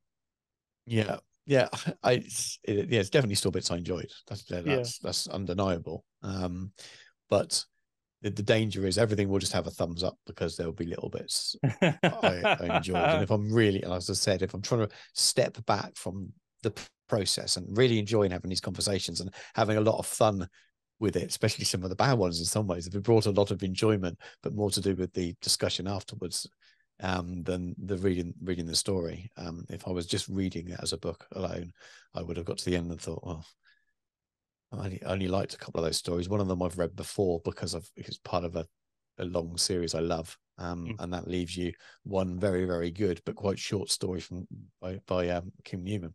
Yeah, yeah, it's fair. The rest I could fair. very much live without, um, and that and that's why it would be a thumbs down.